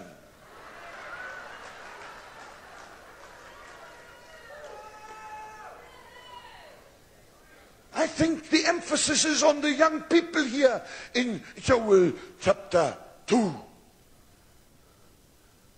What a glorious opportunity! I heard that call when I was just 10 years of age. My father was the pastor. Jesus had spoken to my heart. I ran forward. I put my arms around my papa. I said, Papa, God has spoken to me. He said, Son, what did he say? Said, He said, when I'm grown up, I'm going to preach the gospel in Africa. My father said, Reinhard, your oldest brother shall be my successor. Well, since my father had the smallest church in Germany, I've thanked God a million times for that. No kidding.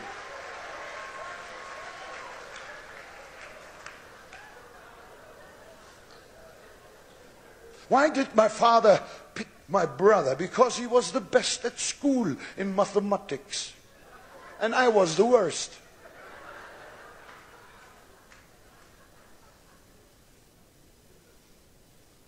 But God does his own choosing and is not responsible to give us explanations why he picks the one and not the other. Why did he pick David above Eliab? Well, even the prophet could, could imagine that. But God took me and gave such a hunger in my heart, filled me with the Holy Spirit. Here after that, I could not be contained anymore. I wanted to go and preach, but I was only 12 and 13. I said to the young people in the church, let's have an open air meeting. They said, why don't you go alone? I said, good idea. I took my guitar, I stood at the street corner, I started to play and sing. I couldn't preach. But people stood around me and they said, Oh, what a nice boy. nice boy. Ah, the flame on my head. Nice boy. I couldn't preach, but I could talk about Jesus. And one man received Jesus. I ran home as fast as my feet took me. I shouted to my dad, I said, Dad, one man got saved. It works, Dad, it works. It works. When I saw a million people saved in one meeting, I shouted again, it works. It still works. Jesus is working. Hallelujah. Go. Preach. And that flame from heaven will travel with you. And you will see God's glorious, glorious, glorious cooperation. Co-workers together with him. The first time God used me to, to heal the sick was totally traumatic for me. Again in my father's little church. I was on my knees praying, my hands on the floor. Suddenly something happened. A sensation like electricity came into my hands. I thought, now what is this? Where's the plug? Electricity, electricity, electricity. And it become, became stronger. Suddenly I heard the Holy Spirit speak in my heart. He said, Reinhard, that woman over there is very sick. I want you to go and lay your hands on that woman and she will be healed. I said, Lord, my father is the pastor.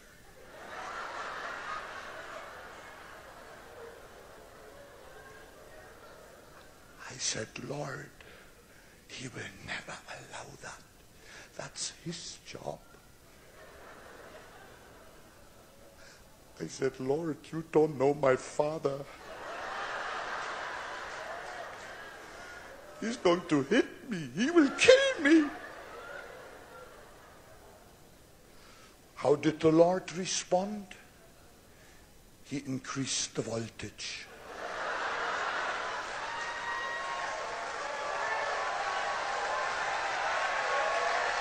And the power came up. And came up.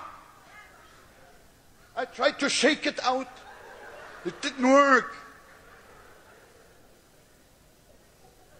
And I thought if it reaches my heart, I'm dead.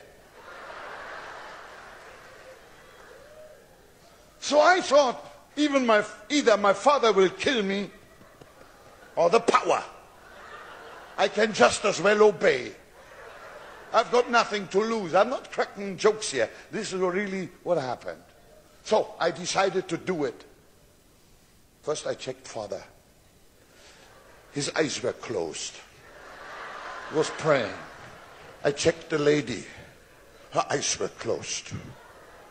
That was the moment to go. On all fours, I crawled right next to that lady.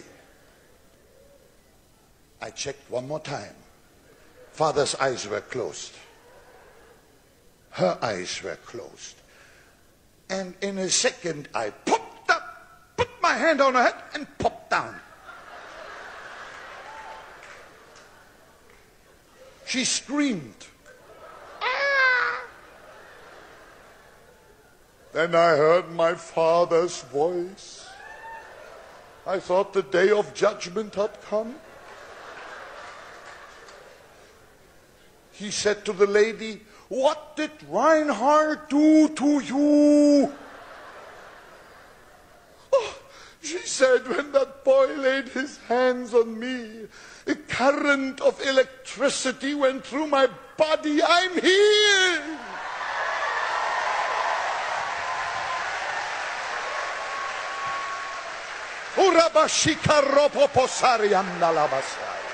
Hallelujah.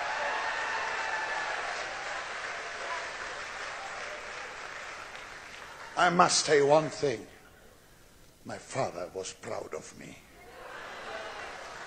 We became the best friends. Hallelujah. Holy Spirit is here. I'm now 67 years of age. I want to preach as long as I live. But one thing I want to tell you, it's time. I want to see the next generation pop up like popcorn. It always amazes me.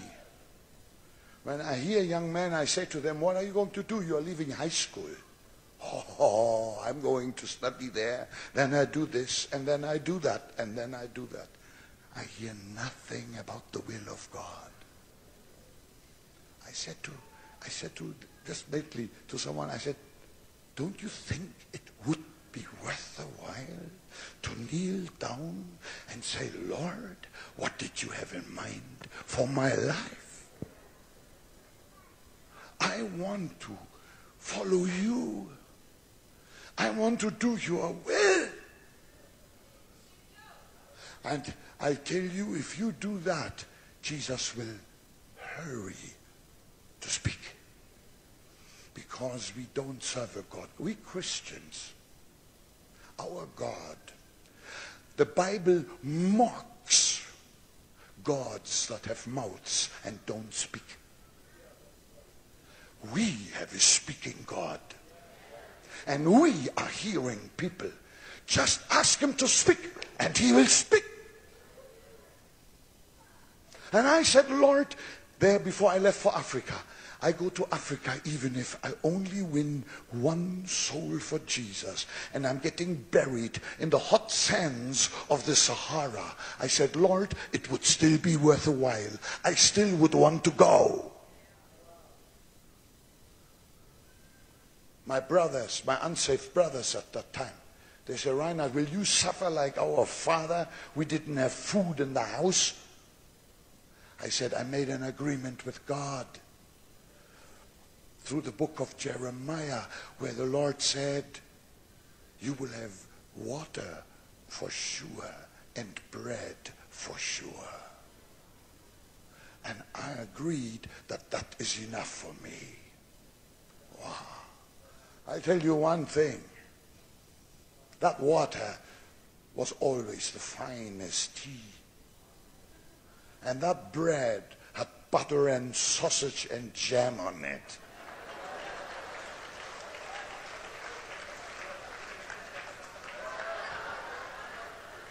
Hallelujah. Make a contract with God. He overfulfills it always. It is good to trust the Lord. Trust Him, trust Him, trust Him. He's talking to you right now. He's talking to you. Hallelujah.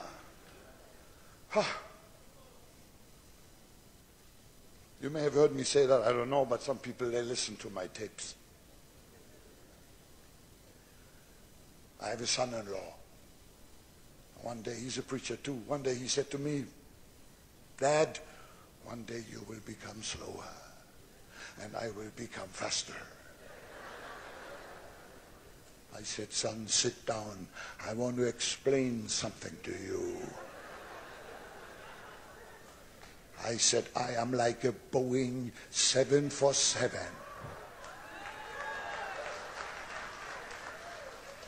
At the end of the runway, it is fastest.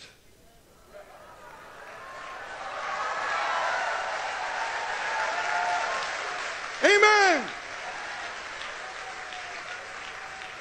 No skid marks. We just pull up and land in the New Jerusalem. Say amen. But until then, my heart shall go on singing. Until then, with joy I carry on.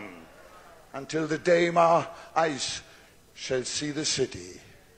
Until the day God calls me home. Young people, the day for you has come. There's no higher calling in this whole world. You see, republics come and republics go. God bless them all. Fashions come, fashions go.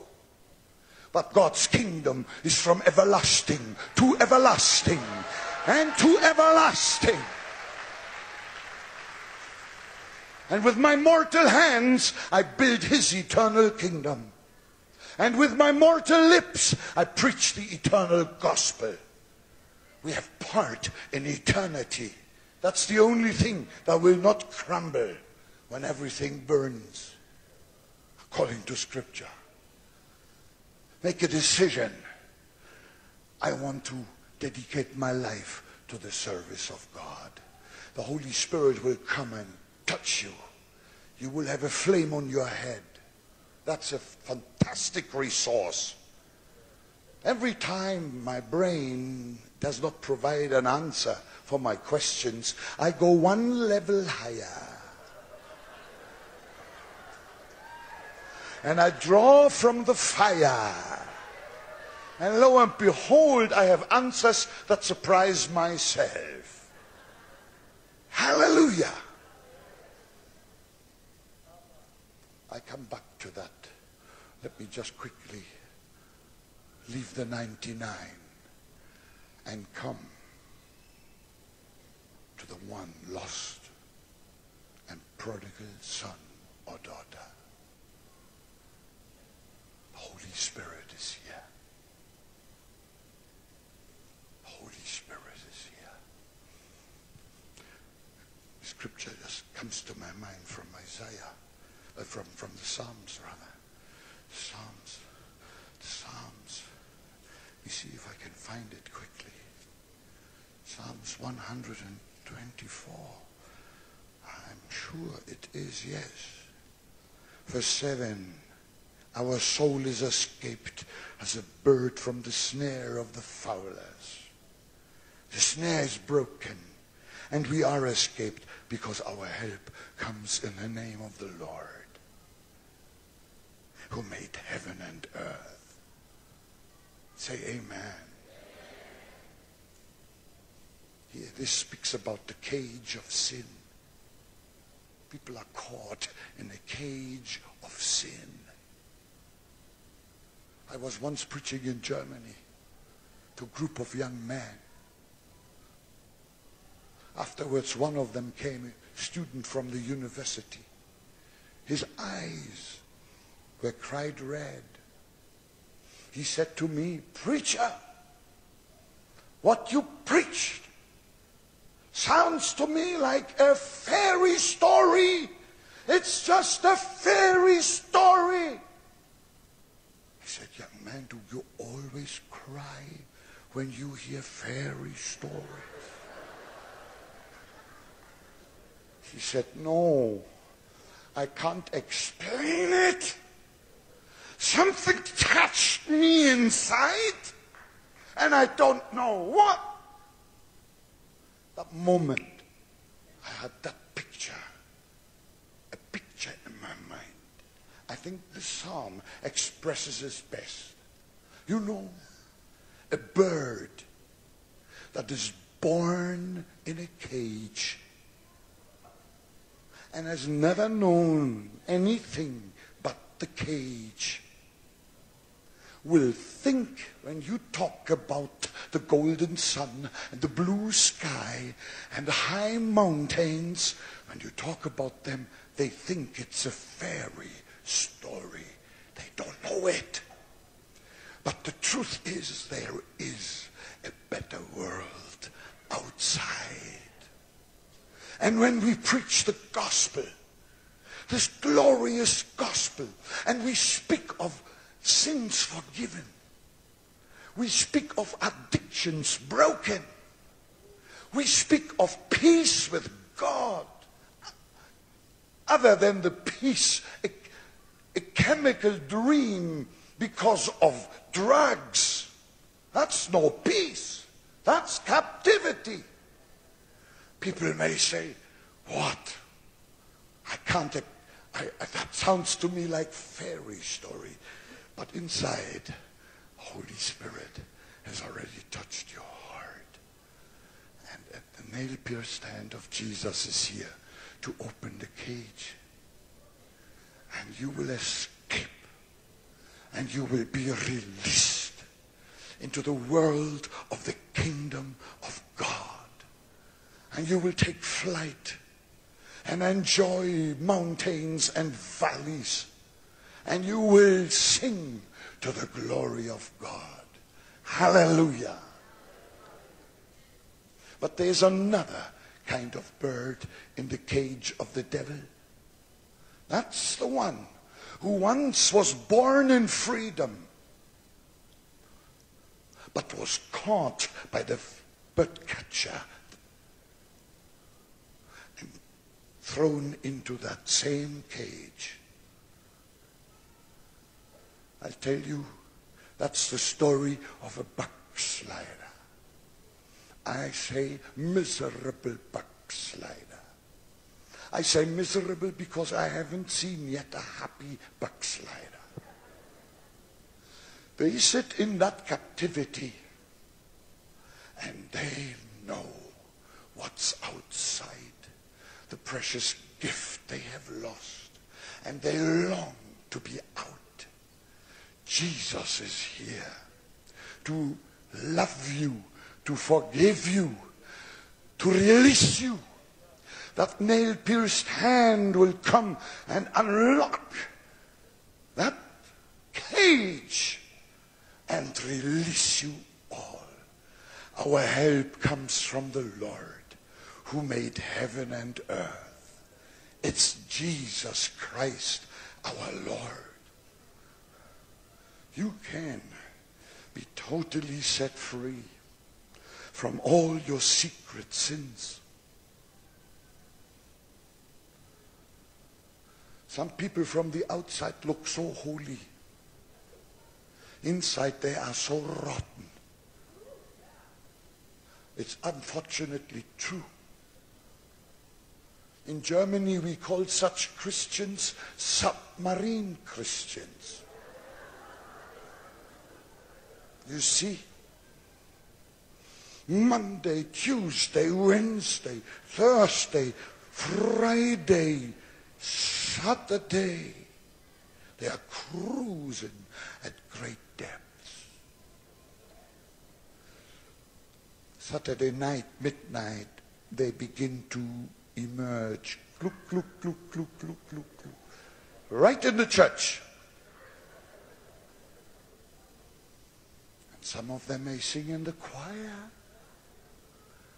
And when you hear them sing, for a moment you thought the angels from the New Jerusalem had arrived. So sweet, so powerful. And when they lead in prayer, you for a moment thought the Apostle Paul has risen from the dead. The whole Sunday. Hallelujah. Praise the Lord.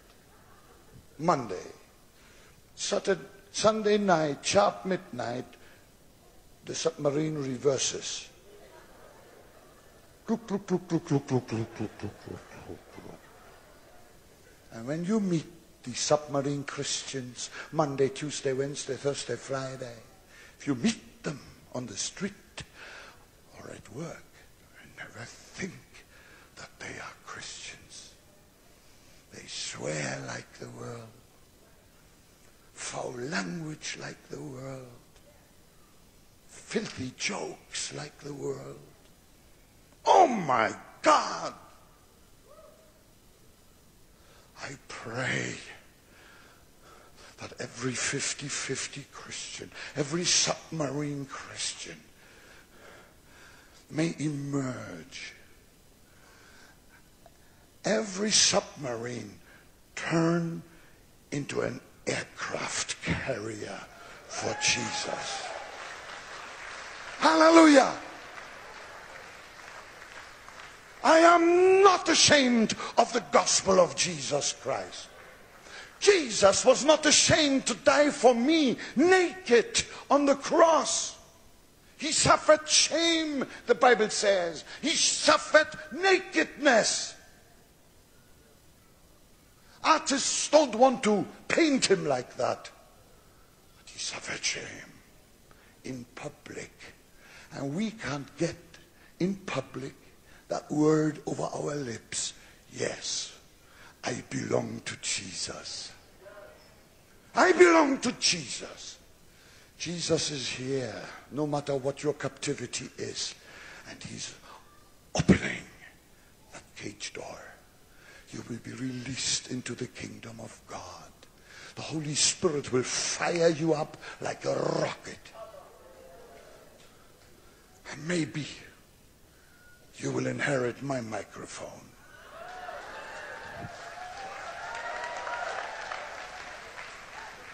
Hallelujah.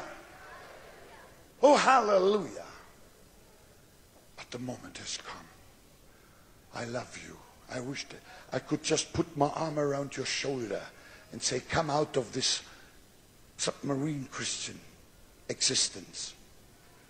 Come and stand up for Jesus.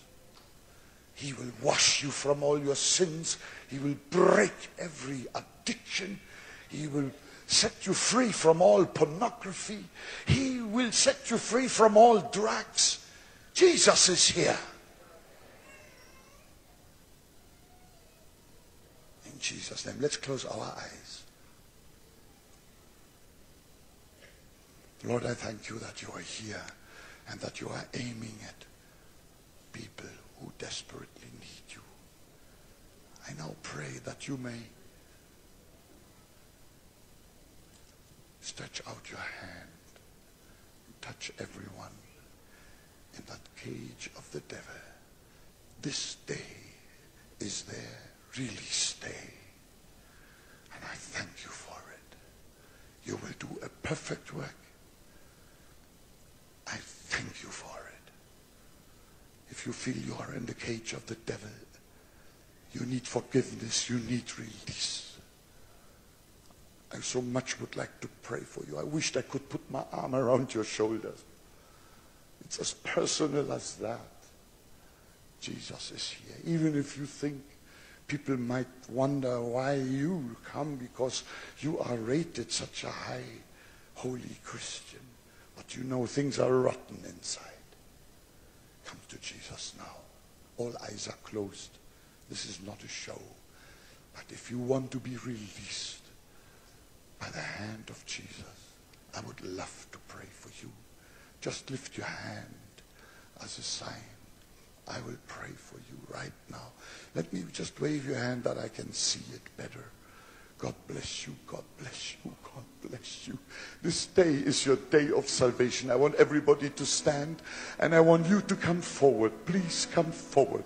I want to pray for you right here. Come forward. In Jesus' name, come forward. Hallelujah.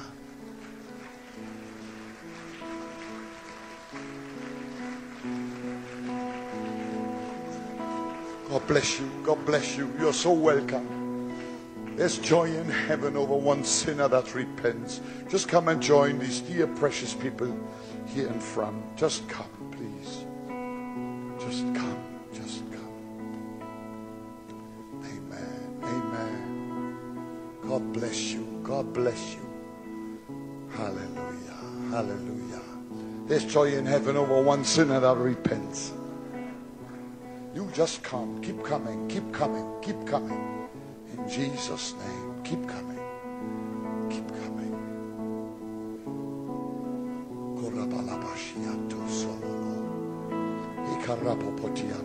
Young men, young women, young girls and boys.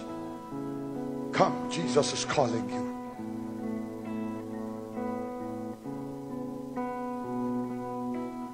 Nobody here is mocking you. Everybody is praying. We are so glad that you came. You keep coming while I speak to all of you that are here in front. What must we do to be saved? Just look at me for a moment. What must we do to be saved? The word of God says, He who calls upon the name of the Lord shall be saved. And when God says shall be and you do what He tells you to do, you will be saved. And no chain can resist the power of God. You will be set free. Jesus is here with his precious blood. And the Holy Spirit is here. You'll get it all in one. We will now call upon the name of the Lord Jesus in prayer. And after that, you will just go with the, just through that door for a minute or two. And the counselors will just have a personal word with you, just a minute or two, and then you will come back.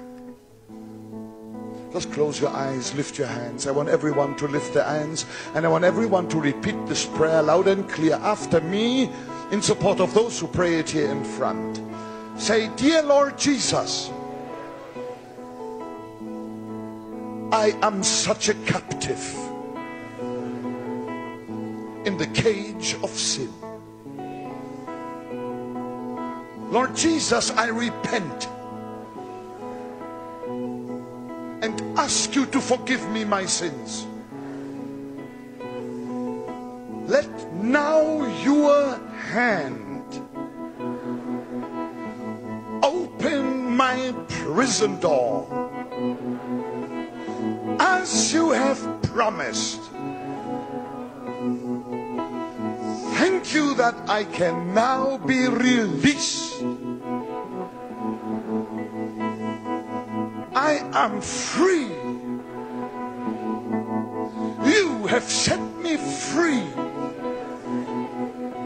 Wash me with your holy blood. Remove all uncleanness and put within me a new heart, O God. I now receive it by faith. I believe it and receive it in the name of Jesus. Amen. Hallelujah. Hallelujah. Just keep your hands up. I want to bless you. Lord, I exercise the power that you have given me. I break every satanic curse. Every satanic curse is now broken, forever broken in the name of Jesus. And I thank you that you now release your blessing upon every man, every woman, every boy, and every girl. I bless you in the name of Jesus.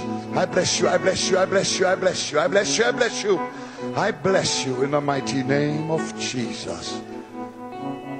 And everyone who has received, shout Amen. Amen. Amen. Amen.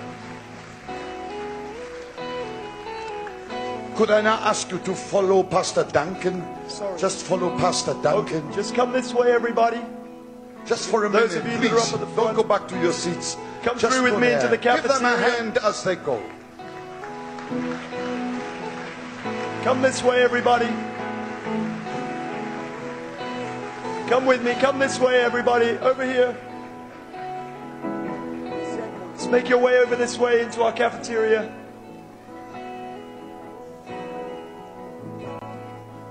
Come this way. Keep going. Keep going. Please make room. Let them through. Okay. Let just keep coming through. We'll t- just keep coming through. Come right on through.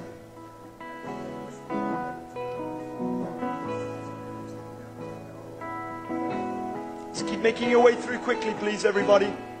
Keep making your way through quickly.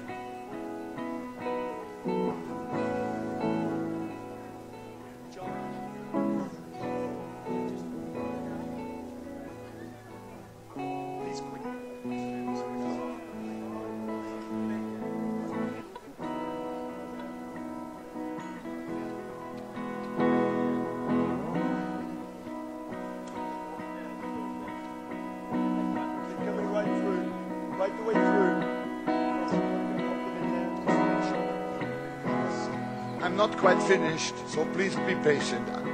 I won't outstay my welcome. Just bear with me, please. When you invite, invite an evangelist, it's your own mistake.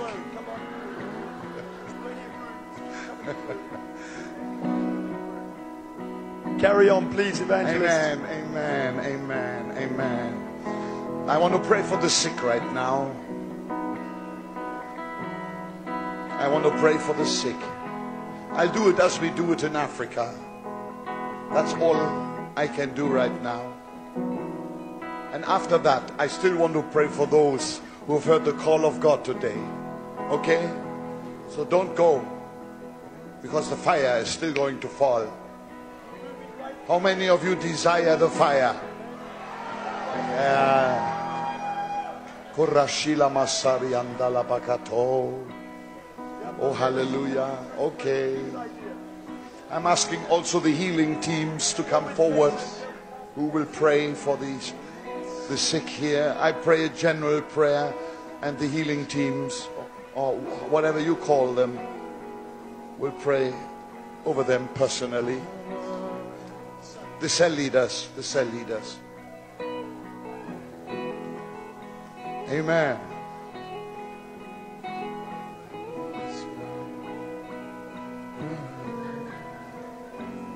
Okay, let me start praying. You, you may still come. Don't worry.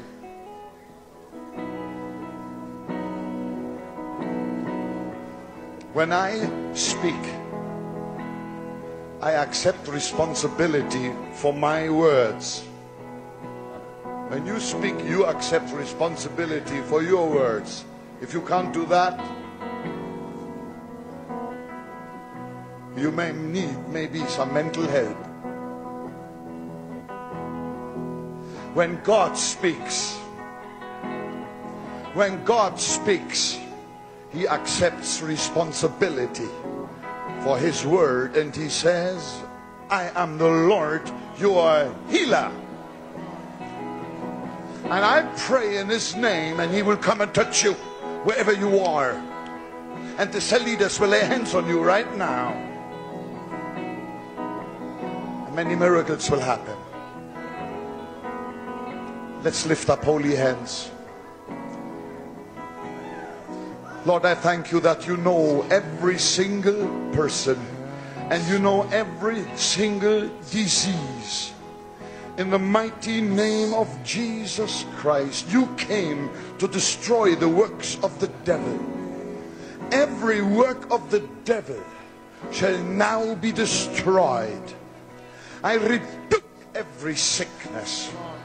I rebuke every terminal disease. I rebuke every mysterious disease. Receive your healing now. Blind eyes open, deaf ears open, dumb mouths speak in the name of Jesus. Be healed from cancer, be healed from respiratory diseases, be healed from rheumatism and arthritis. You are now being healed from breast cancer in the mighty name of Jesus. I thank you, Lord, that your nail pierced hand is touching everyone. Everyone who's coming to you in faith.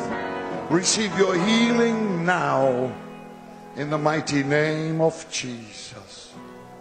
In the mighty name of Jesus. Those of you that are cell leaders, if you could come to the front and just begin to mingle among the folks. There's a whole bunch of people in the aisles, so cell leaders, any of you that are on our prayer ministry team from any of the campuses, just come right up to the front and begin to minister right away, please. While this is going on, I have a question. Who here this morning heard the call of God?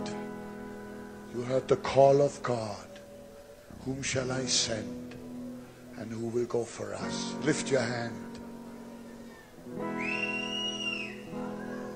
The fire of God is here. And that fire will fall on you.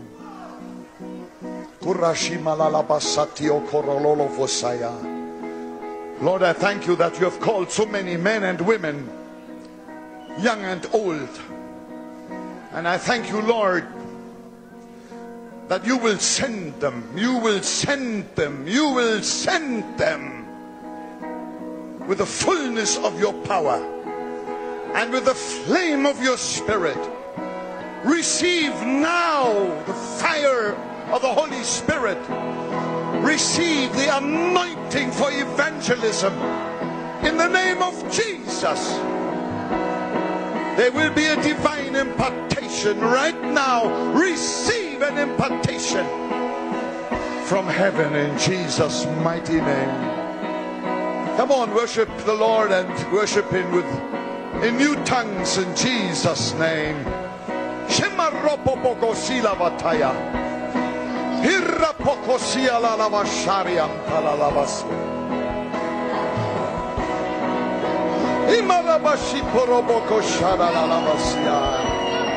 Jesus. Jesus' name. Jesus.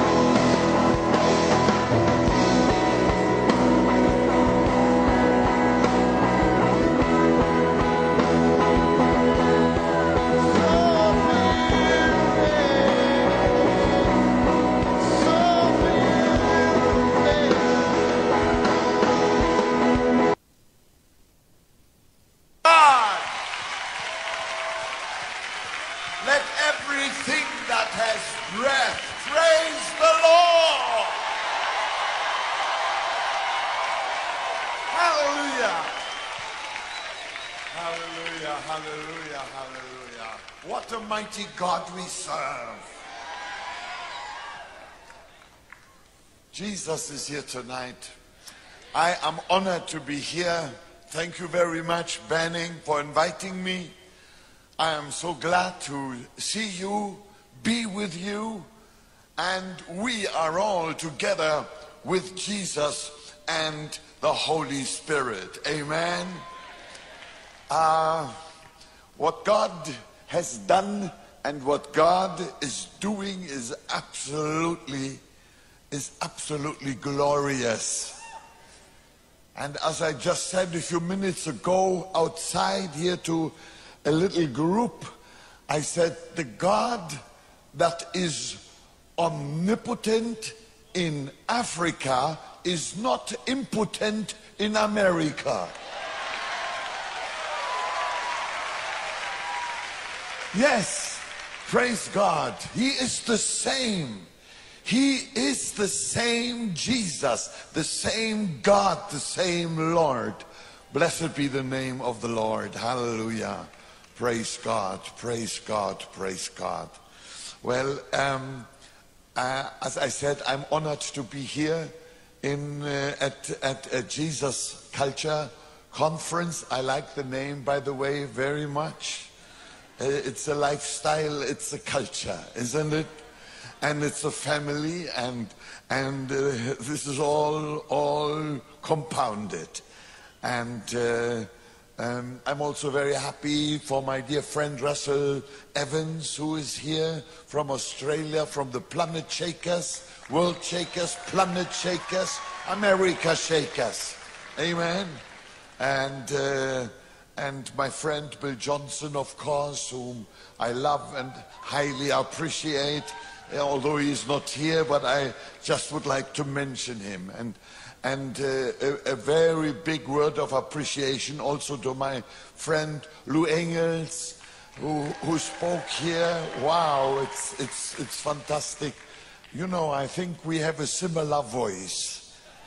I think we have we, we, we, we preached our voices to pieces, but it is still audible though, you know. And then also Daniel Kolenda is here. He is the he is the uh, chief evangelist of Christ for All Nations. You just saw him in this um, clip, and he is my successor. Uh, I'm an old man by now. I'm 73 years of age, but uh, I tell you, I tell you, old age means absolutely nothing as long as the Holy Spirit empowers us. Yeah, what's the difference? And uh, I am moving on in years, but I tell you, I still want to kick the devil before I kick the bucket.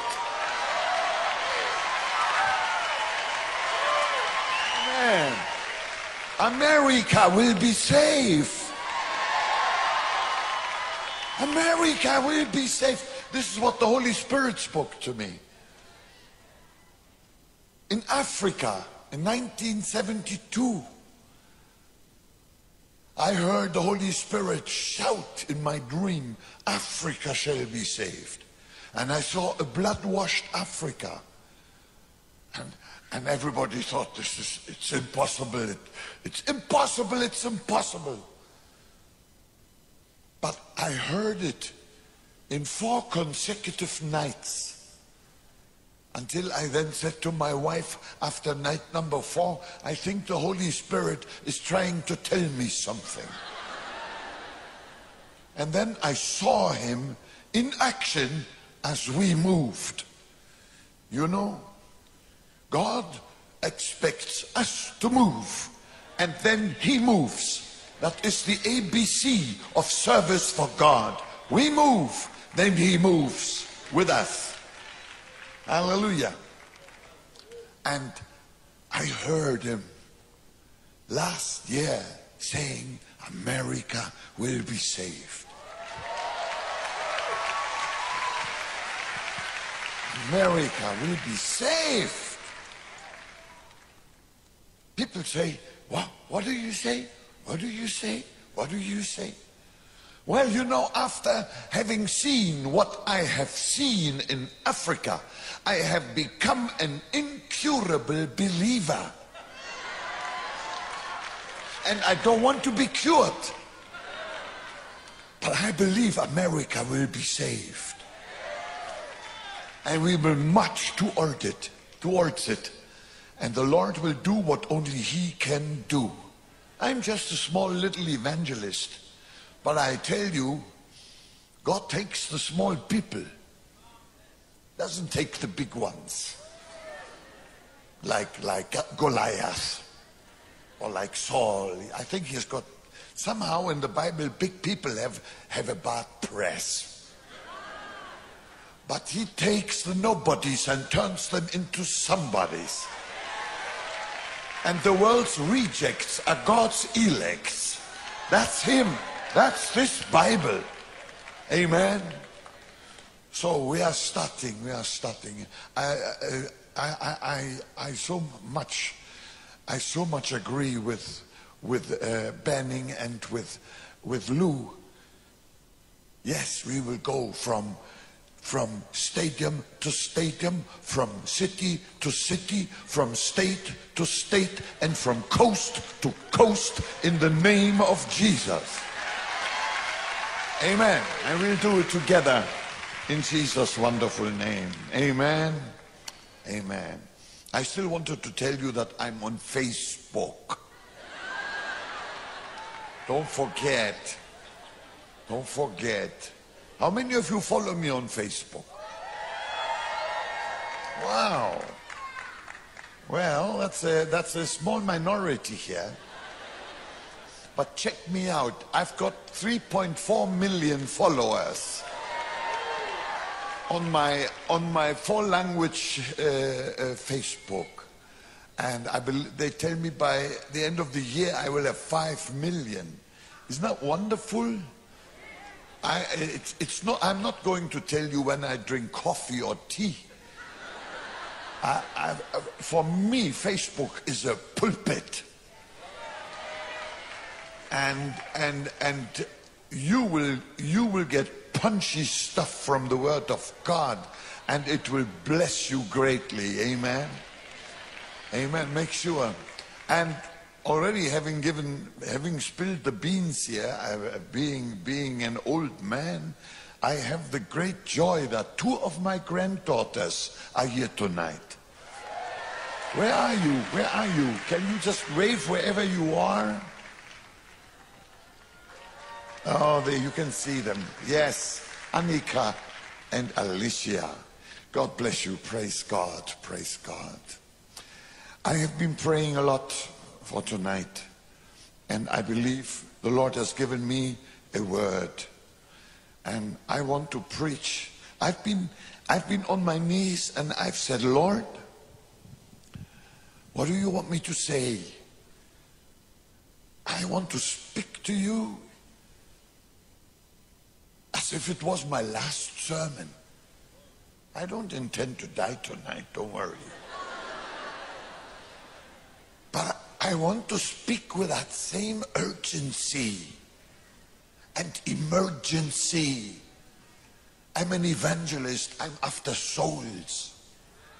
Every time I take a microphone, I have one desire in my heart. I want hell empty and heaven full. Yes. That's why we preach the gospel. And that is the reason why Jesus died. That is the reason. He died to seek and save the lost. He died to deliver those who were bound, to set the captives free, to heal the sick, and do glorious miracles. He's the God of miracles.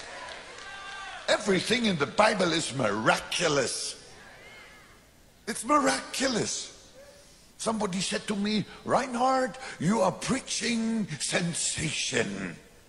I said, well, it cannot be avoided, you know. It cannot be avoided because this book is a miracle book. From beginning to end, it's all miracle. It cannot be avoided. I don't believe in sensationalism, but I do believe in sensation. Hallelujah. Praise God. Amen. Amen. Amen. I want to speak here tonight about faith and fire. Faith and fire. And I want to contrast it a little bit here and um, and um, let me say uh, I want to give it to you in form of of of of of, of short little uh, as if somebody would string up beautiful pearls. You know, that's what I want to present to you. Some, some necklace with beautiful pearls, stringing up those truths. And I pray that the Holy Spirit may, may, may plant them in your heart as He planted them into my heart. And, and if He is successful, you will be successful as well. Because these truths changed my own life, got me going for God and, and seeing since 1987 when we started to keep records about decisions for Christ in our gospel crusades, we have reached the figure of 75 million. 75 million. You know what that means? 75 million less in hell and 75 million more in heaven. That's what it means. That's what it brings. That is the result. Hallelujah. Glory to God. I want to I want to start uh, uh, with, with Mark chapter 16. Mark chapter 16. This will blow you away right from the start. Um, you, if you have a pen and you have a Bible, I want you to underline something. I'm reading Mark 16 from verse 11. That was before Jesus ascended to heaven and gave the Great Commission to the disciples. Now, verse 11. And when they heard that he was alive and had been seen by her, they did not believe. Number one, verse 13. And they went and told it to the rest, but they did not believe them either. Verse 14. Later he appeared to the eleven as they sat at the table and he rebuked their unbelief and hardness of heart because they did not believe those who had seen him after he had risen. Can you believe it? Three times in a row it says here they did not believe. they did not believe. They did not believe. Now that they did not believe, I can still believe. But what I find difficult to believe is the fact that Jesus, a few verses later, gave the Great Commission to these unbelieving believers. And he said, Go into all the world and preach the gospel to every creature. Wow. If I had been there that day, I think I would have sneaked up from behind and pulled the garment of Jesus and would have said, whispered into his ear, Lord Jesus, are you sure you picked the right people? Do you know that behind your back they are full of doubts? Do you know that they are questioning you all the time? Are you sure you picked the right people? You know what I think Jesus would have done? Jesus would have turned around. He would have done this. Shut up, Bonnke. I have a secret you don't yet know. Hallelujah. Hallelujah. Hallelujah. You know what amazes me is that a perfect God desires the cooperation of imperfect people. But he says, you shall receive power. And now listen. After verse 14, we read verse 20. It says there, and they went out and preached everywhere, and the Lord working with them and confirming the word through the accompanying signs